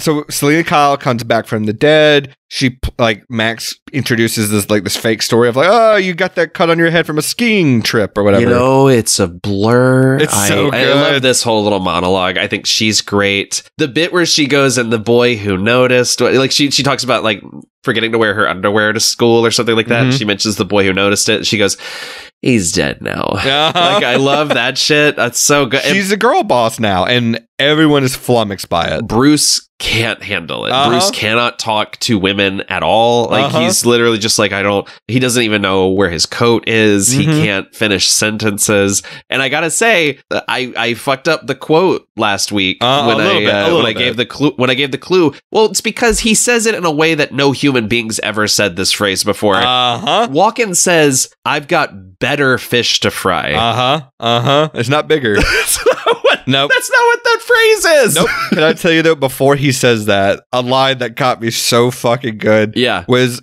after Selina and and Bruce leave. Chip says something. You buying that? Yeah, and uh, deadpan without even looking at Chip, he goes, "Nothing surprises me, Chip." Oh yeah, it's really good. Doesn't he? He's he he Oh, sort of insinuates to his son that he murdered his mom. Uh-huh. Right? Like he's like he's And, well, there's that, and then just like Max's expression is just more like annoyed. He's like, Yes. nothing, and nothing surprises me anymore. Chip." no, he literally I like lost it. and like this is the most evil man in the world to the point where like a murder victim surviving is like the least of his worries right now. Uh huh. He's like, I'll deal with it. It's, it's so annoying. I'll drop her out a higher window is the funniest one of the funniest lines in this movie. It's, It's- so good. Speaking of uh, bigger fish, Yeah. we cut to the mayoral office uh, where We get a split diopter shot We when do. Shreck comes up the stairs, We which do. looks gorgeous. it's incredible. So he lowers Oswald down with a raw fish. Did they set up this office in Arctic world? Well, like, I- where are we? I don't know. I mean, this has got to be in town, right? It's got to uh, be in That's what I thought too. near Gotham like, Square. I, yeah, I cannot figure it out. no, the, the- don't even try. The geography makes no sense. Our research tells us that voters like fingers. Oh my god, I lost it at that line too. Oh my god. It's so fucking. This whole scene is so fucking funny. Like, Yes. he lures the, uh, this giant baby man in this onesie that Uh-huh. is just covered in shit. You know it is. Everyone applauds. I know. He's eating a raw fish. He's got the guts spewing out of his mouth along with the black bile. And then yeah, the the our researchers shows the voters like fingers is really funny. Not a lot of reflective surfaces in the sewer, huh? Funny line, but then this guy getting bit on the nose. Yeah. It's so much blood. That guy was also in an episode of Always Sunny Mhm. when uh when Charlie and Mac get their their house, like Yep. they move into the house together. Yep. That's the that's the guy, like their neighbor. oh, that's so fucking funny. I remember that. or no, it's not. Yeah, it's uh yeah yeah yeah. Yeah, yeah. This scene scared me as a fucking kid too, because there's so much blood and just his little black sharpened teeth biting into your nose. Oh, Uh-huh. oh, So gross. And then meanwhile, this is where the penguin becomes horny and doesn't stop being horny for the rest of the movie. he suddenly remembers, oh, women exist. That's the Like, biggest parasol I've ever seen. Uh huh. And he's like, I'd like to fill her void. Yeah. Ugh, ugh. and as Max tells him, like you can have anything you want, like the the, the ear of the press, unlimited poontang. Unlimited poontang is a line in a Batman movie. in a Batman movie delivered by Christopher Walken. Where they have sold Happy Meal toys. to- In one of in one of DeVito's greatest line deliveries, he goes, "You drive a hard bargain, Max. All right, I'll be mayor." uh huh. So we got we got to establish. So the plan is Max can't run for mayor Right. because it just it just wouldn't work. it's a conflict of interest. Nobody would vote for a businessman No. to be mayor of anything. I I distinctly remember when Donald Trump announced his his candidacy and going to work the next day and saying like, "Isn't that the fucking craziest thing you've ever heard?" And one of my coworkers saying, "I don't know. I think this company could use a businessman in charge." Ugh. And I was like, "What are you fucking talking about?" the businesses that have all failed. right. And I, I just remember thinking like, "Oh no. Yeah. Like people actually do like this." yeah. It's the same like when Oswald starts walking up the stairs and turns around and just screams, Burn, baby, burn. Yeah. First of all, great line. Yeah. Second of all, Trump has 100% said that at some point. Uh-huh. Like, it's, it's not, without question, he has done that. Probably at one of those rallies where he's dancing to YMCA without knowing what the song is about. Uh huh. Doesn't move any part of the bottom half of his body. Yeah. it's, the, it's the laziest fucking dance I've ever seen. But Uh-huh. so Max wants Oswald to become mayor because it'd be like a, you know, what, what's it called? Um, like a puppet uh, mayor, mayor so Yeah. he can actually get his bills passed and everything. Yeah, because I mean that was like the whole argument that he and Bruce were having was he was like, well, I've Bruce is like, I've talked to the mayor, like I he's not going to approve your your power plant, you know, proposition, Mhm. and then he goes, mayors change, Yep. like, yep. Yeah. The the scene with him with them two going toe to toe is really good. huh, Yeah, because neither of them are giving. It's it's pretty great. So then we get this montage of the city just being destroyed. A dog runs into a toy store with a grenade in its mouth Uh-huh. and blows it up. It's it's very funny. Where are these vagrant clowns getting bazookas from? I, they got nunchucks, they got swords, they got bazookas, Tommy guns. oh my god. Batman pulling the sword out of the sword swallower's throat and then Oh. punching him is really good. Really good, really good. And I love that this Batman, I mean, some of it is just a consequence of, uh, you know, the suit, like not really being able to move in it or whatever. Mhm. But like Ashley pointed out, like, I don't see this Batman training in the fucking Himalayas for Oh, like six no. years. Like, this is a Batman who just learned how to fight on the schoolyard. Yeah, this is this is a yeah a guy that He's that- a scrapper. yeah he doesn't do cardio. He's just he's lifting weights. That's all he's doing. sure. No, that's what I, that's what I liked about Robert Pattinson's Batman is he's like, well, I've got a suit that literally bullets can't get through, so I'm just gonna walk until I'm close enough for a punch. yeah, yeah. I love it. Love it. You know, I- I wrote this down too. You know why this movie? I like this movie so much more than a lot of other Batman movies. What's that? Fucking goons. Yeah, this movie has we got goons in it. Colorful goons. Exactly, they're circus goons. They're not guys in paramilitary gear. No, Like, we've got a poodle lady. We've got a fire breather. Mhm. We've got a yeah, tall tall clown with nunchucks. It is it's straight out of a comic book, Uh-huh. but in a good way. Like these it. are fucking goons. These Yeah. are loyal goons. They they're committed to the aesthetic, and it worked so well with this movie. I love it. I'm so tired of faceless army at the end of these. Guys in balaclavas with Sure. uh, you know AK forty sevens and shit or whatever. Sure. It's boring. Give me goons. I want goons. But how do you feel about more casual bat murder I him putting the the bomb bomb on on the, the the dynamite. and smiling? Love it. Oh, I hate. I I, love hate it. it. so much. Really? Yes. Well, that's okay. But this this Batman is not that Batman. Like he, he doesn't have that moral code, or if he does, it's never established. It's just like it's not. And I take it as it, the same thing as Batman Begins. Your one of your favorites is he definitely is responsible for killing Ra's al Ghul. Oh, However, yeah, he no, tries to twist it. That's one of the things about that movie I don't like. Yeah. I I don't mind did. I mean, it's not it's not on the level of Ben Affleck just running over a bunch of people and Yes. blowing up a warehouse full of human beings and throwing a dude's head into a wall. I, I like it because it's like, well, it is kind of brains over brawn because Yeah. he even says hit me and he hits the guy and oh, that didn't work. Well, how can I take this guy out? Right. Well, I'll use one of these goons' own dynamite. It's not like he brought his his dynamite. Then it would be a little too far. You know, he's he's resourceful. sure. This Batman's resourceful. Okay. But I get it. I totally get why you don't like it. Yeah. That being said, he burns the devil earlier. Oh, he yeah. blows this guy up. I'm, I'm fucking in on it.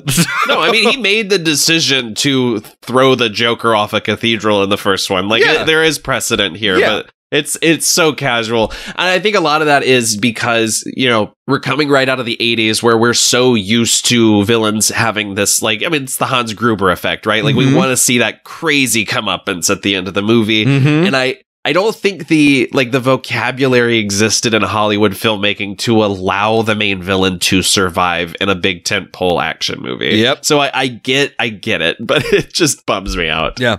I know it's once you set the devil on fire at the beginning of the movie, I'm kind of I'm kind of down with whatever. I've always said that. yeah, that's that's my go-to. So Uh-huh. I, I don't mind it, but I understand I understand your criticism. Yeah. Catwoman going into this department store Uh huh. with her Indiana Jones whip, Yep. and knocking off those four mannequin heads, incredible. Um, th- apparently Michelle Pfeiffer did that in one take. Yeah. uh, for real. Yes. Uh It was incredible. These two security guards. Uh, delivering the worst line of dialogue in the entire film. Oh, disagree. this is this has to be you and me. Like this is our bit part. Are these two guys? Oh no, abs- I wrote that down. This is the yeah. I did write that down. I, I don't know whether to open fire or fall in love. Uh, fucking same, dude. and then the other guy is just like our take home is less than 300 Oh, like don't kill us fucking oof. I do love that. That made me laugh really hard. No, it's it's a really funny line, but I'm just like, come on, guys. it's out of a co- it's out of the comic book. This feels like some shitty like yeah. This almost feels Adam West era. yes. Like oh, I, I fully, fucking dig it. absolutely. Yeah. No, this this movie has so much more DNA in common with the Batman 66 than the first one does. Yep. And if I was this guy too, I would be like, I kind of be like, you know what? You could whip me once. Let me just, let me just 'cause it would it would do a lot for me, lady. Just oh boy. And our our villain and hero meet each other for the first time as well, and they act like they know each other. yeah, both villains Yeah. uh, introduced because I love how they're just having a casual conversation, and then uh, well, first of all, she she gets a bunch of spray uh, like aerosol cans, puts them in a microwave. Rips a wall, a, a metal sheet off a wall, and there's just a giant like red tank. that Which says gas, right? I was gonna say, thank God it said the word gas in big bold letters. Otherwise, I'd have no idea what was going on right here. right, of course. But what an introduction of Catwoman to these two characters because she they're just having a conversation. She front flips into the fucking sea. she literally out of frame. and like lands with her hands up like she's like voguing slash she lands in like a Siouxsie Sioux pose Mm-hmm. with her hands over her face and then says meow. And then the building explodes. Boom. It's incredible. It's so extra. I love it so much. She's a girl boss. She's a fucking girl boss, and I fucking like. She might as well be doing the blue steel after she gets done flipping. Uh-huh. Like it's it's really good. It's so good. It's really good. this fight's great too. I mean, the the I saw her first, and I love the helicopter umbrella. So funny. It's such a good gag. And then this fight between Catwoman and Batman is really good, especially the "How could you? I'm a woman." Batman's such a moron. He Like, is. He's so for the shit. I mean, this Batman, the first thing we see him do in the Burton movies is just like that first scene we all remember, you know, I'm Batman, him flying down, grabbing the guy. Mhm. But before that, the first thing that happens is he steps towards them and gets shot like five times and falls down. Mhm. Like he does. He's so bad at being Batman. I love it. I do too. I, I, I, mean, just would love like I I understand Batman's gotta have gadgets. Uh-huh. I would just love a modern day Batman movie where it is we do have a scene like that. Like it doesn't have to be a time period piece, Sure. but like get rid of all the like I like Robert Pattinson's little contact lens video camera stuff, Sure. fine. But I would love it just like a Batman that's just his his sight Uh-huh. just terrifies people. Yeah. like that's and that's what they were kind of doing that with Batfleck. and they got they got there with Pattinson, I think, in the beginning, and Yeah. then he kind of, you know, I, I, what I love about the Pattinson movie is that his character arc is I got to figure out a way to throw this thing Mhm. instead of instead of it just being I can't just have my batarang be a stabber. Mhm. Oh, the batarang in this movie we'll talk about later. Oh, but yeah. Jesus. Catwoman's got a lot of one-liners right here. Life's Uh-huh. a bitch, now so am I. Yes. Great, great line. It, it, it does feel like she's trying out different catchphrases. oh yeah. yeah. The whole movie. How do you feel about the kitty litter? Saved by kitty litter. I think it's a silly line that she delivers perfectly. I think it's so goofy, but it's so par for the course that she just happens to fall into an you know those open trucks of kitty litter that Yeah. you see all the time. totally.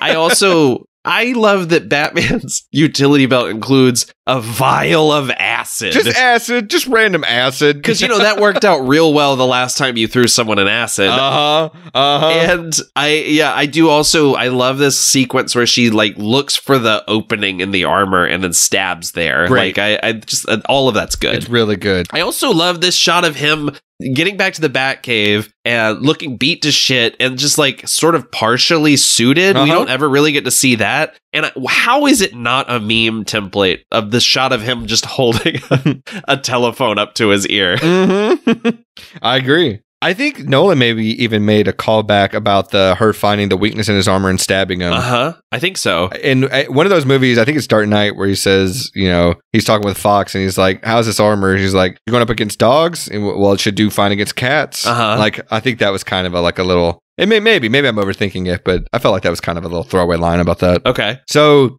Oswald goes up to his office, and Catwoman's in his bed, Uh and oh my god, she says, "Just the pussy I've been looking for." Yep. in this PG-13 Batman movie. Insane line. And he is gross. This scene is wild. He is coming on so fucking hot. It's Yeah. like it's like a real life Tinder message came to life. Like this guy is just going for it. Like, th- but but then you've got Catwoman being overly sexualized. Like she's humping the bed basically. She's like she does the thing where she's licking her hand and rubbing it against herself like a cat cleaning itself. Yeah. It's, this scene is wild. yeah, uh, well, and that's the thing is like that's the thing that keeps happening in this movie where a lot of characters suddenly have a whole thing, right? Mhm. Like she she's now I have to actually do cat things like Mhm. bathe myself Mhm. and I try she tries to eat a bird, which apparently Michelle Pfeiffer actually put a bird in her mouth for this movie. Put a real bird. Put a real bird in her mouth. Yep. and where the fuck do they get the blueprints for the Batmobile? I, who could know? I, not only that, they're apparently just like physics engineers and everything. Tech geniuses Yeah. from the circus. Yeah, these They're going to make an atomic bomb. yeah, an H bomb on wheels. And I love that she's like, "I'm going to take this bird," and he puts a Uh-huh. kni- he puts a knife up to a cat's throat. so wild.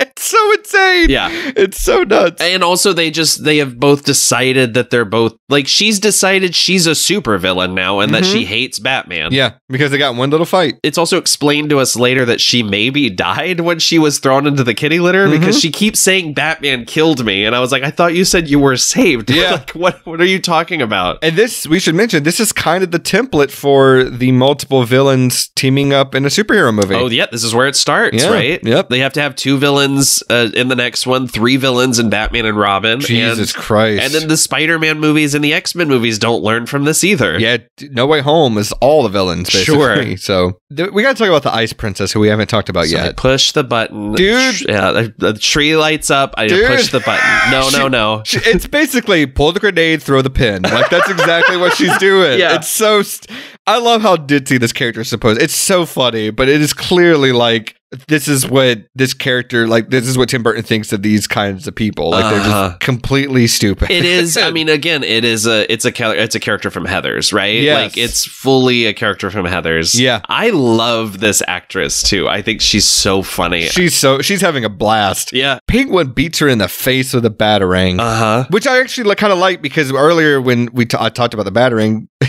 Batman's fighting some goons. He programs it to hit them all and knock them out. Uh-huh. But the but the woman we see constantly with the little dog grabs it midair and they just kind of walk off, and you don't think anything of it. Right. But this is where it comes back. Right. So I thought that was really really smart. No, it is good. It is weird that everyone just takes some very circumstantial evidence and is Mhm. like, actually, immediately fuck Batman. He's the Uh-huh. worst. Uh huh. I love it. We cut. We get a date between. Uh, uh, oh, I don't think we mentioned it yet, but maybe uh, when they're walking down the street and they're t- like Catwoman, or not Catwoman, uh, uh, Selina and Bruce, and she's like, uh, "Have you heard about this uh, this penguin guy, and then they're talking about the fight from last night. Uh-huh. And then Bruce looks over his shoulder and he's like, he does a double take, and there's just a newspaper that's blown up. It says Batman blows it. Yeah, and there's another one that says me ouch. Uh huh. It's so good. Uh huh.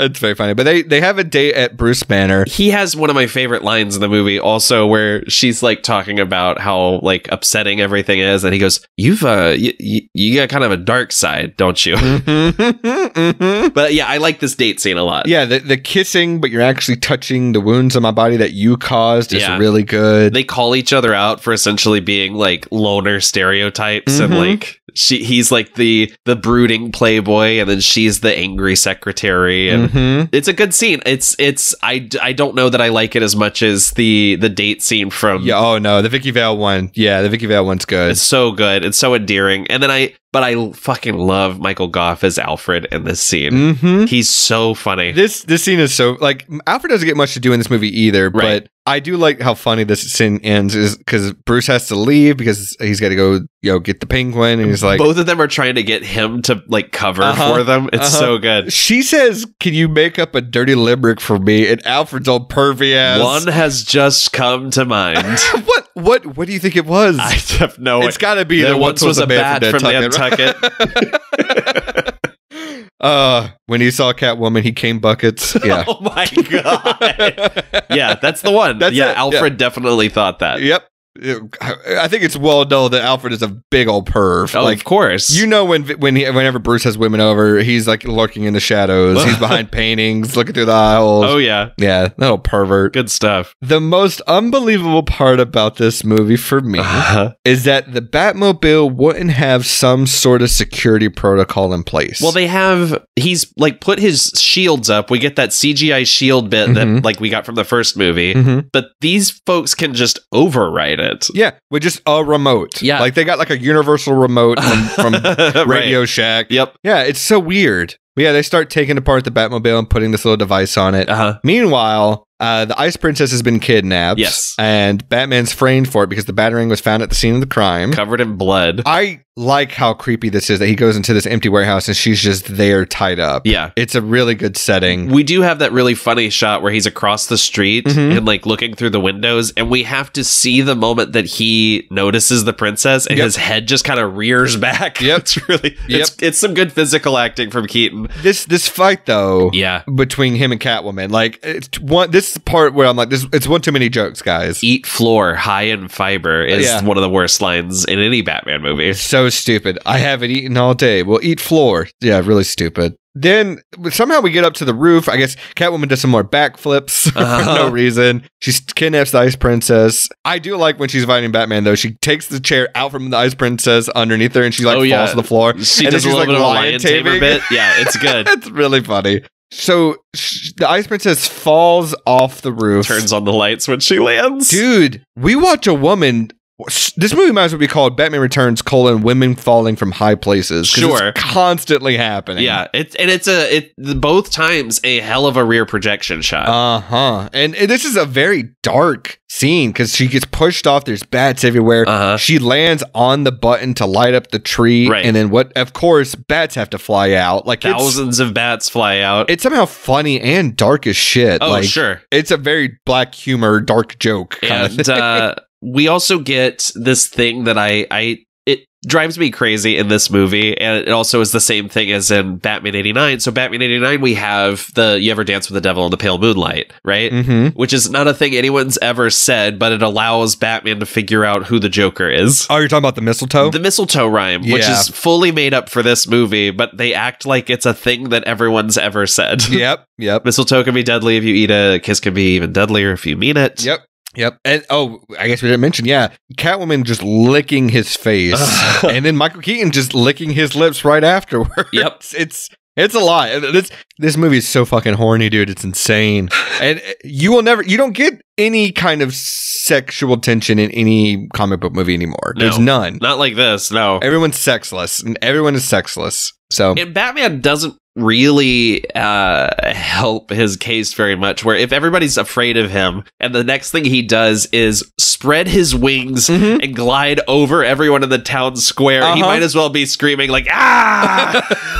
but also before he he goes off the roof, these police officers come up and immediately start shooting. start- yeah. Like they they don't give. They, there's no freeze. There's no hands up. They come out the top like the stairs to the roof and they just start blasting on. Gordon, Gordon's like, hold your fire, and they like shoot him like eight, sh- shoot him like eight times. Mhm. Catwoman gets dropped from a another. We get another shot of Catwoman falling from a great height. Yep, yep. I love this. The greenhouse scream. I love it. It's real good. Yeah, And it's like one thing about Catwoman that I like in this movie is her suit throughout the whole movie just gets more and more ruined Yes, because of course yeah. it would. She only has the one. right. So when she she's okay, so she's arguing with Oswald and they're like, "Hey, we did it." And he's like, "You're going to let me fuck you now, right?" And she's like, "What the fuck is wrong with you?" Consummate our unholy union. Yeah, Is he maybe the takes the lead for the most incel character we've covered on the show? probably. I think so. Yeah, it's pretty bad. But he gives her this umbrella that takes off the helicopter one. I love it. It's so goofy. Go to heaven. Go to heaven is what he tells her. I love this wide shot too of Oh, her like kind of kicking while she's she's being carried away. It's great. I, I also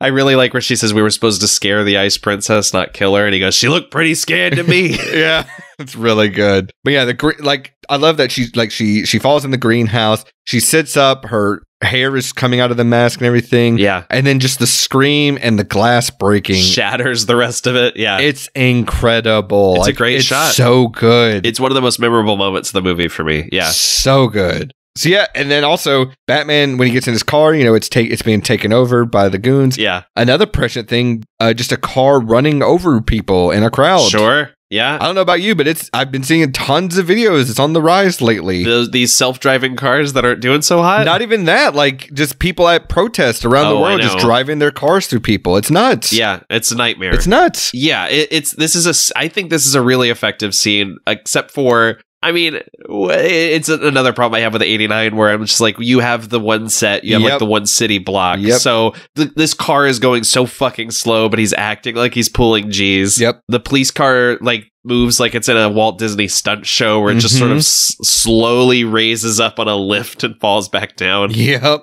Batman almost hits a homeless woman Yeah. pushing a cart full of cans like she's like she's Sandy Bullock in Speed. And he decides, you know what I need to do? I need to pop in a CD. Uh huh. Got to get some tunes. yeah. Oh, we should do like an edit of that. He pops it in, and it's just like I don't know. What's, what's a good song? Mother.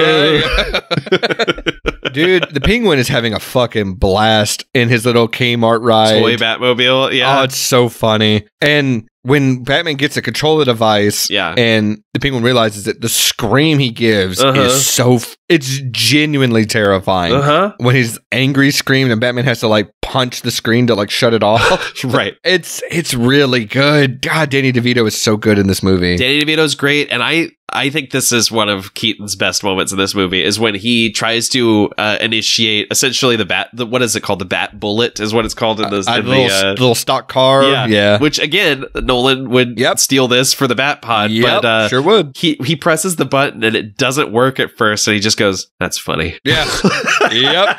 Yep. It's a great line. It's a great little bit. But yeah, it becomes like a little uh, Pinewood Derby car. Yeah. And it goes to the wall. Again, a situation you would only ever use this one time, Right. but whatever. And it also, you know, severely calls into question the structural integrity of the Batmobile as a whole. Oh my God. Yeah. well, this one is like a piece, a hunk of plastic. Right. Like it's not the tank from the Dark Knight and stuff like that. I had this as a as a uh, model kit when I was a kid. oh, I, I had a little toy toy one. Yeah. It was great. Yeah. It was real good.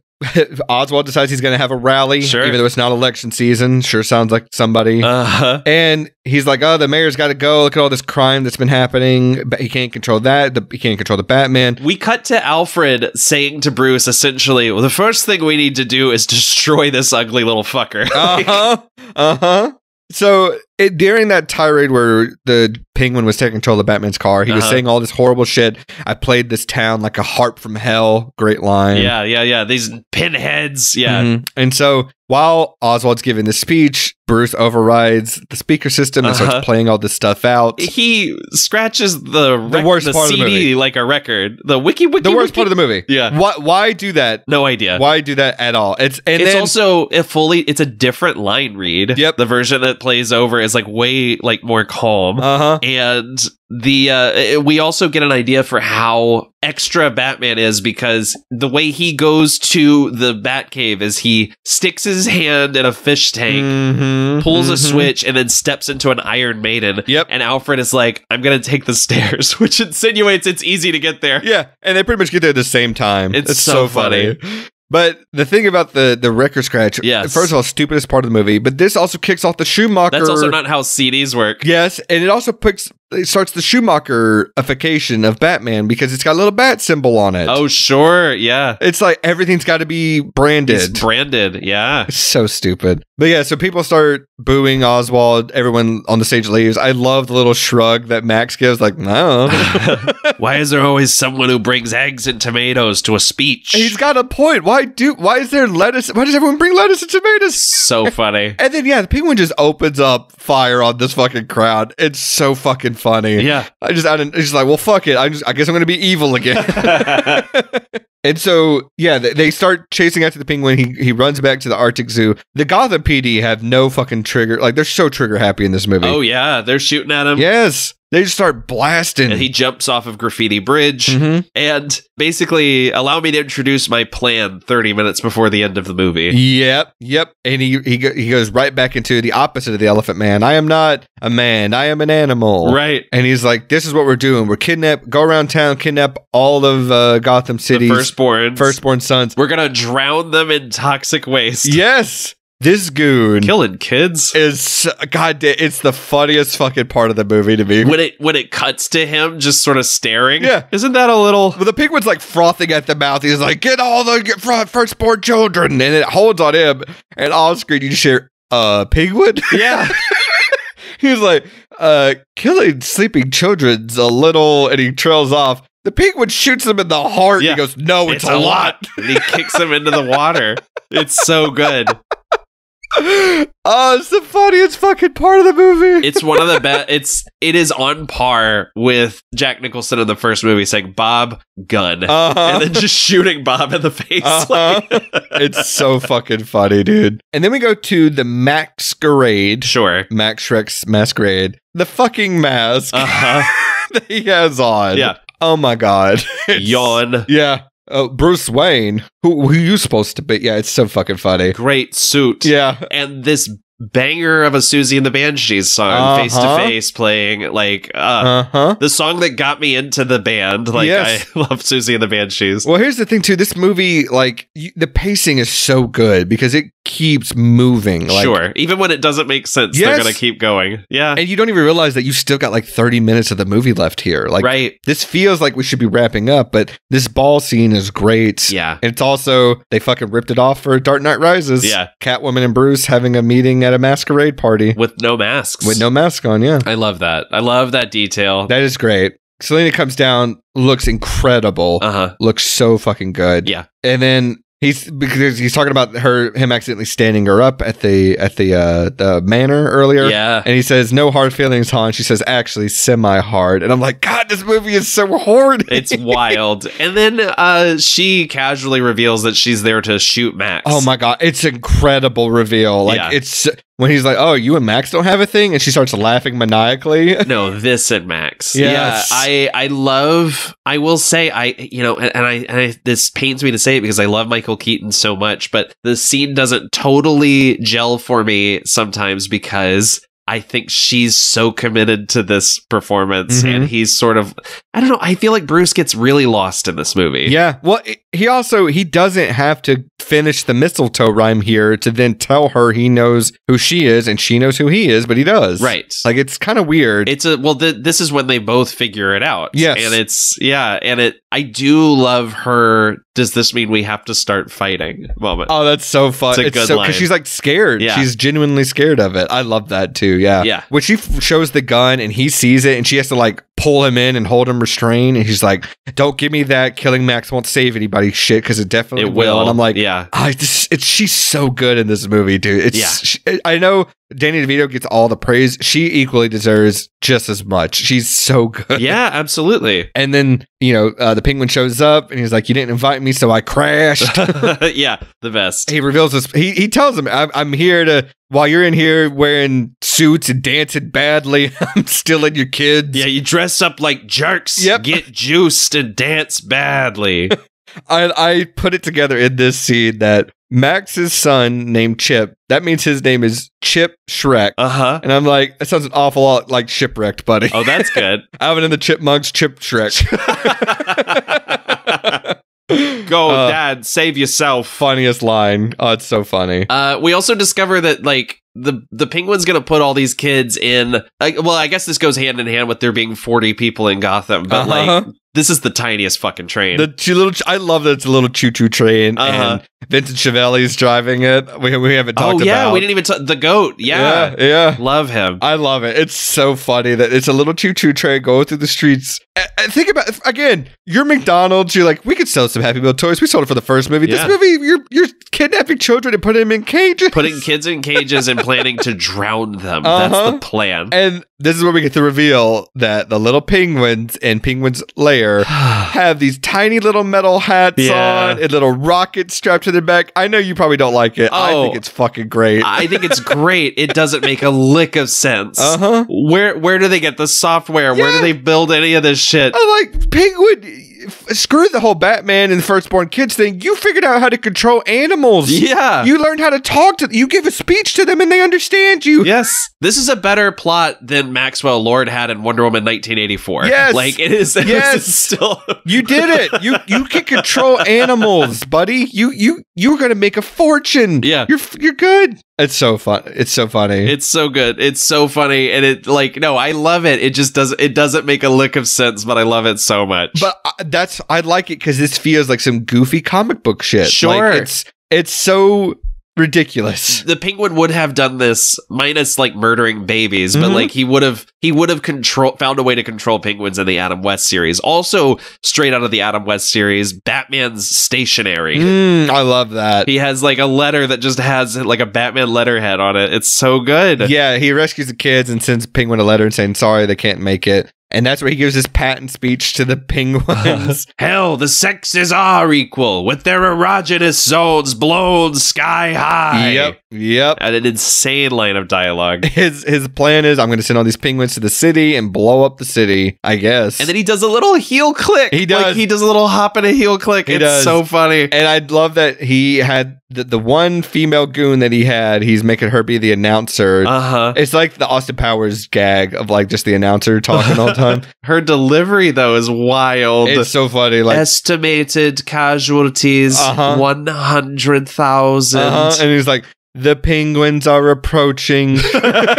So And funny. thank God Alfred has developed a penguin jamming software. I know. And they use the same software they used to jam the microphones earlier. oh man. Yeah, Alfred uh, disrupts the signal. Batman is got a lock on where Penguin is in his lair. Uh-huh. I love that after the penguins get turned back around and the penguin realizes that Batman's coming for him, he looks and all the goons are leaving. Oh yeah, that's a great shot of the, them just None sort of funnier than the woman just fading into the black. that. Yes, so It's so wild. fucking the light funny. goes out and she just backs away into the darkness. Uh huh. And I love that Penguin realizes he's like, I'm all alone. Fuck, Batman's on the way. I gotta get out of here. This is what I was talking about earlier. The rubber ducky being revealed to be a fucking tank Uh-huh. that can go upstairs. Oh my god, it's so fucking fun. Look this was the final boss in the in the Genesis game. Like Uh-huh. the, it's so funny. the the reveal too that it's got wheels and a motor Uh huh. and just Danny DeVito in this thing going up the stairs and he's like bouncing around in the seat. It's so fucking funny. Ugh. God, it's so funny. Yeah, the reveal of when he the camera zooms out Mhm. and every penguin has surrounded them. This is Oh. where I wrote down "Oops, all penguins." Oops, all penguins. I love it. It's so the miniature work too of the zoo blowing up. Yes. Oh my god! Because they start firing the little rockets off, and yeah, Yeah, I'm a little confused by this. So Batman has this little device that seems to be drawing the penguins back. But when DeVito presses the button on it, that makes them all fire their rockets, but Yep. it also releases a bunch of bats from the back of the Batmobile. yep. Uh, whatever. Sure, why not? Yeah, Penguin falls to the glass into the water, but it's a rough fall. Yeah. like the stunt, the stunt work is really good. It's really good. Yeah, I, I buy that this kills him, basically. Oh, we didn't mention Max is in a is in a cage down below. He gets the key for the cage from the organ grinder, and Catwoman's torn suit. Man, at this point, it's it's really good. It looks awesome. This is when I like the suit the most. I It's love this design. Yeah. yeah.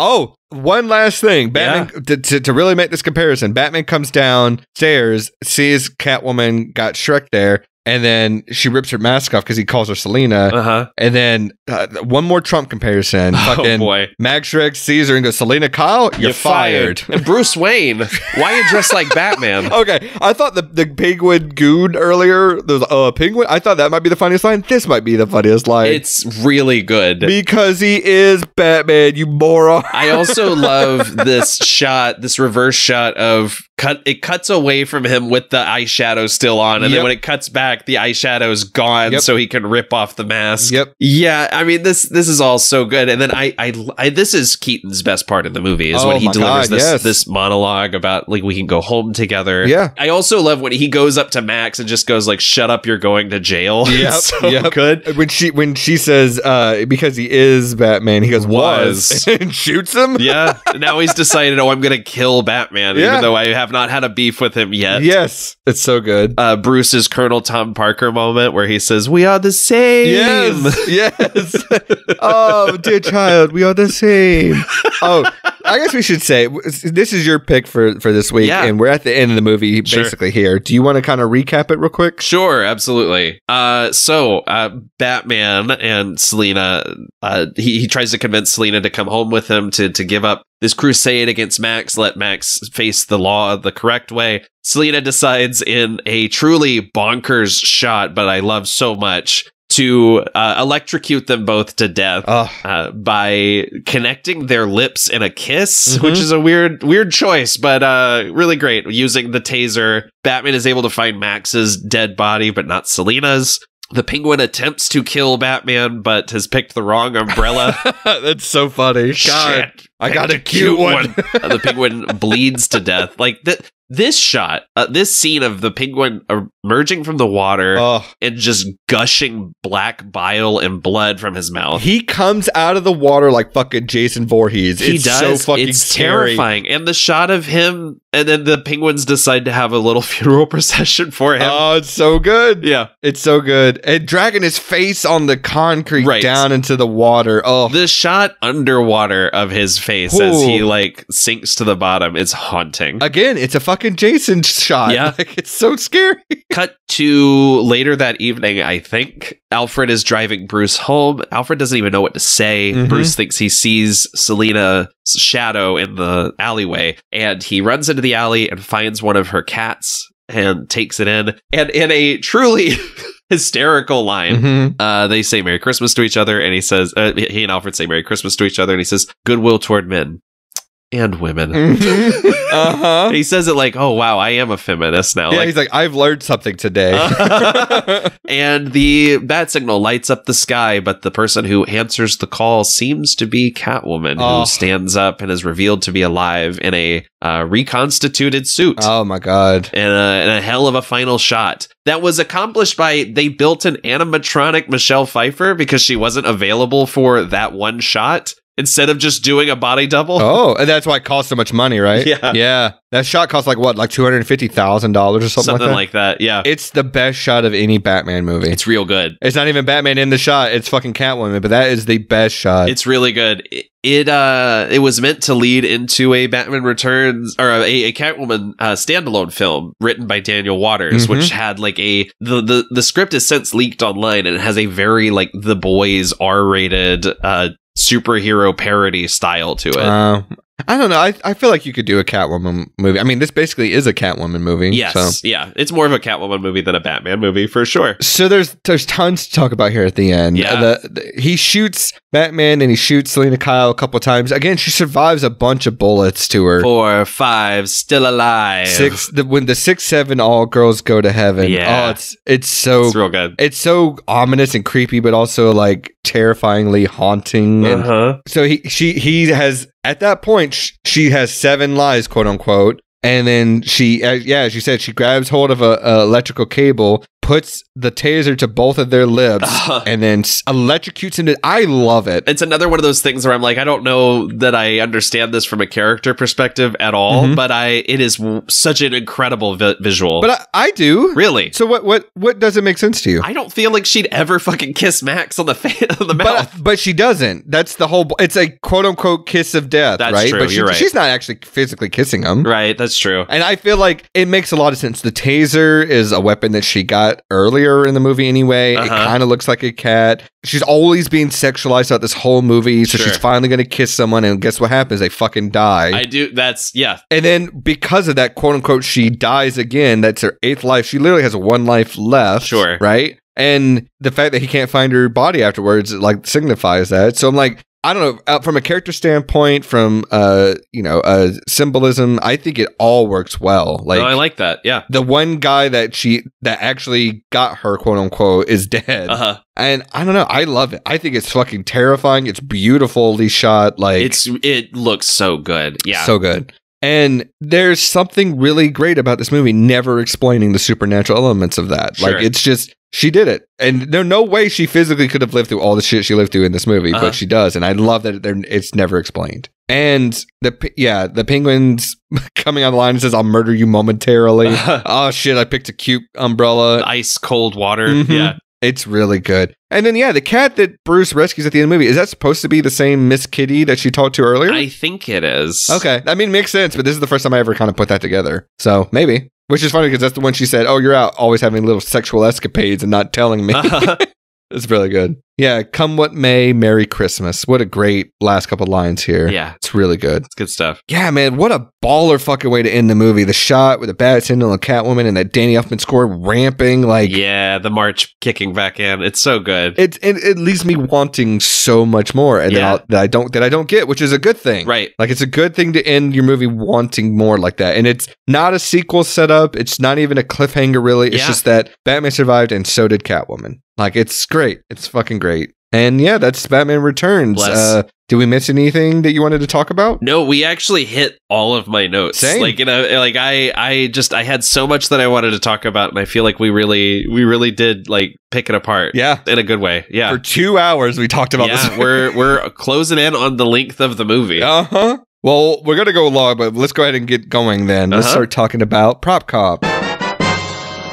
And for new listeners of the show, Prop Cop is where we look at all the props in the movie Batman Returns and we pick one for ourselves. Nathan, this is your pick, so I'll let you go first. What prop do you want from the movie? I want the newspaper that says Batman blows it. Oh, that's good. That's good. I I had a couple I wrote down. Uh-huh. Like I I kind of wanted the batch of toxic waste that looks like the secret of the ooze. sure. Speaking of that movie, Yeah, yeah, yeah. Bruce's aquarium with the secret switch in it, I thought was really cool. But then the practicality of that just got to suck. You got to roll your sleeve up every time, your arms wet. Sure. I I even like the little mini Batmobile like that Joker uses that we talked about, the little Kmart ride. The penguin. Oh, what did I say? You said the Joker. oh, I'm sorry. Yes, the the the penguins, yeah. little Batmobile. It feels like a Joker bit though, right? It does a little bit, but I ultimately went with the umbrella that's also a flamethrower. Yeah, that's good.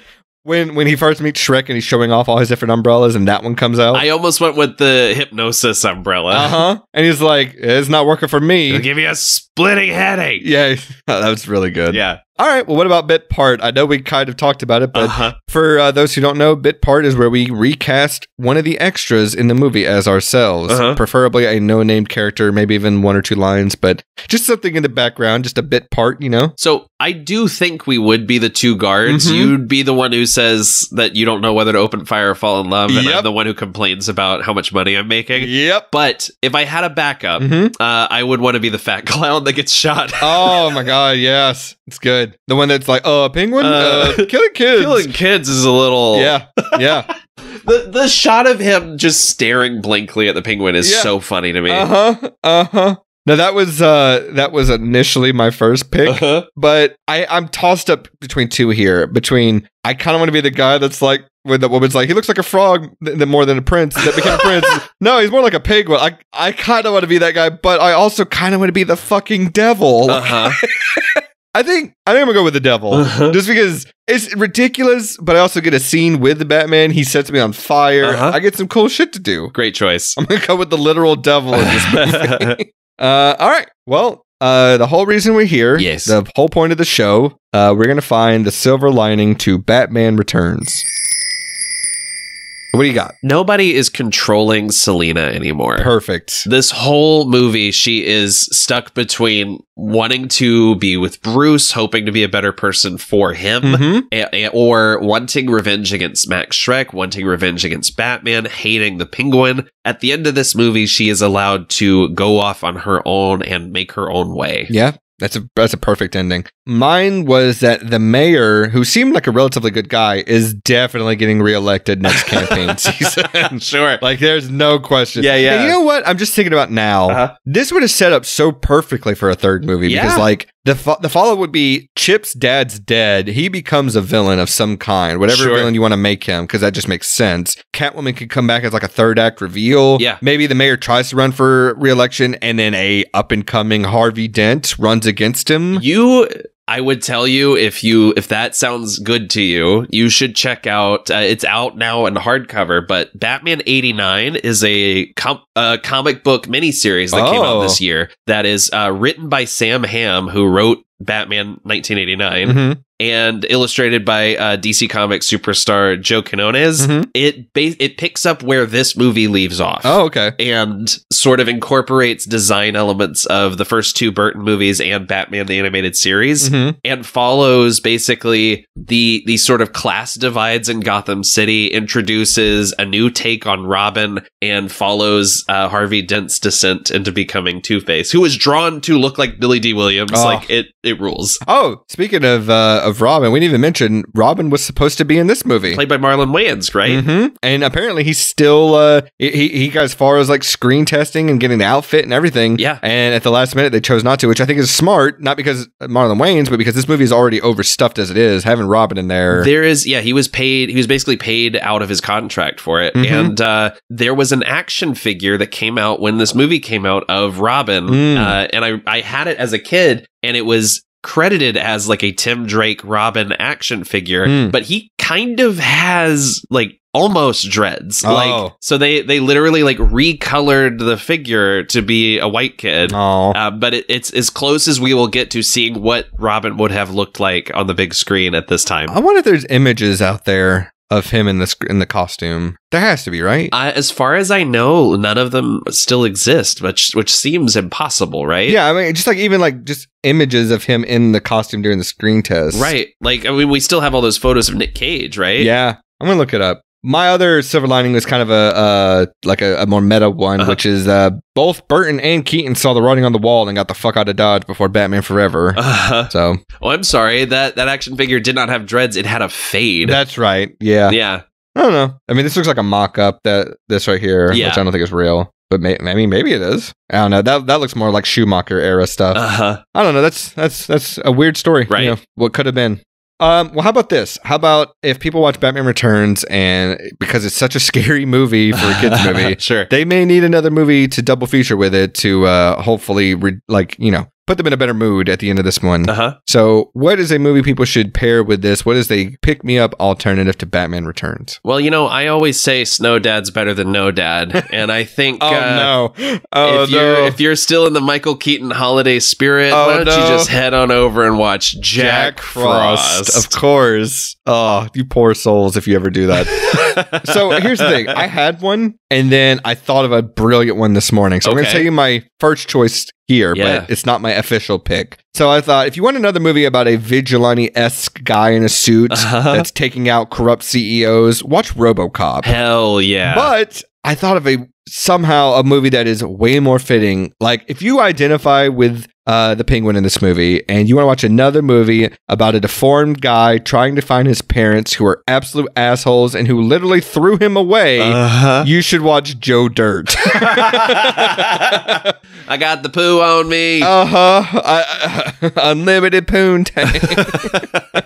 man. yeah. So there you go. Great choice. Watch Joe Dirt. All right. Well, I think I know the answer already, but Nathan, do you recommend this movie? 100%. percent Mhm. It is not going to be everybody's cup of tea. It's really, I, you know, I'm, I'm fascinated. I, I was so excited to to watch this with Ashley because uh, probably for the same reason you were to watch it with Priscilla, where like, how does someone who's never has no like concept of what this movie is, how does someone receive it now, right? Mhm. and it was a blast. I Mhm. gotta say, I think it is a it's a perfect group watch too. Like oh my just, god, yes. It was like for a Saturday afternoon, I could not have like dreamed of a better movie to watch. Uh-huh. Just a little toasty on the couch. It's it keeps giving. Like Yeah. it's a movie that if it's got scary stuff, it's got funny stuff, it's got cool stuff. It's just I don't know. It's like I said, it's the one I revisit the most. It's my favorite Batman movie. I think that is a totally valid uh, pick for favorite Batman movie. Mhm. Absolutely. and it's my favorite Catwoman, my favorite Batman score. Sure. Like it's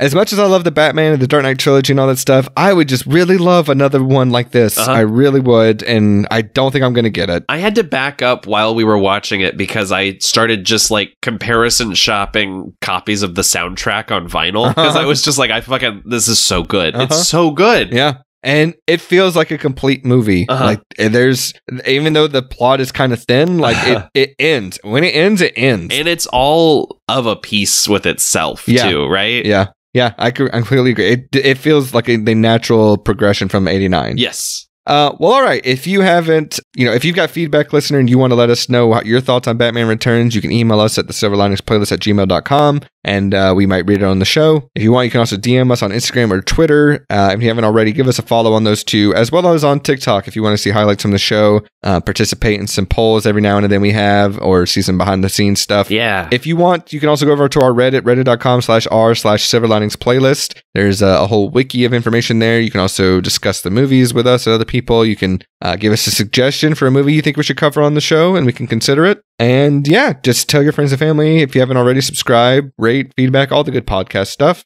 And uh, yeah, that's that's Batman Returns from 1992. Now, next week, where 2022 is over, Yeah. we're rolling into the new year. And uh, I got a clue for what we're going to be kicking off the new year with Right. uh, on the other side. And that clue is next week, bring your milkshakes. or you will have abandoned podcast. You will have abandoned your boys. That's good. I'm so excited. I'm so excited to revisit this movie. As am I. It's going to be an interesting first movie of the year rewatch. So, well, without further ado, rest in peace, Oatmeal. And I'll say this too rest in peace, Kevin Conroy. 100%. Like the the greatest. The Batman, Yep. the definitive Batman. Yep. Yeah. My Batman forever. Absolutely. And not Batman forever. Uh, all right. Well, listeners, we'll see you in the new year. And as always, Burn, baby, burn! God, perfect. perfect. Excelsior! Excelsior! Excelsior! Look it up.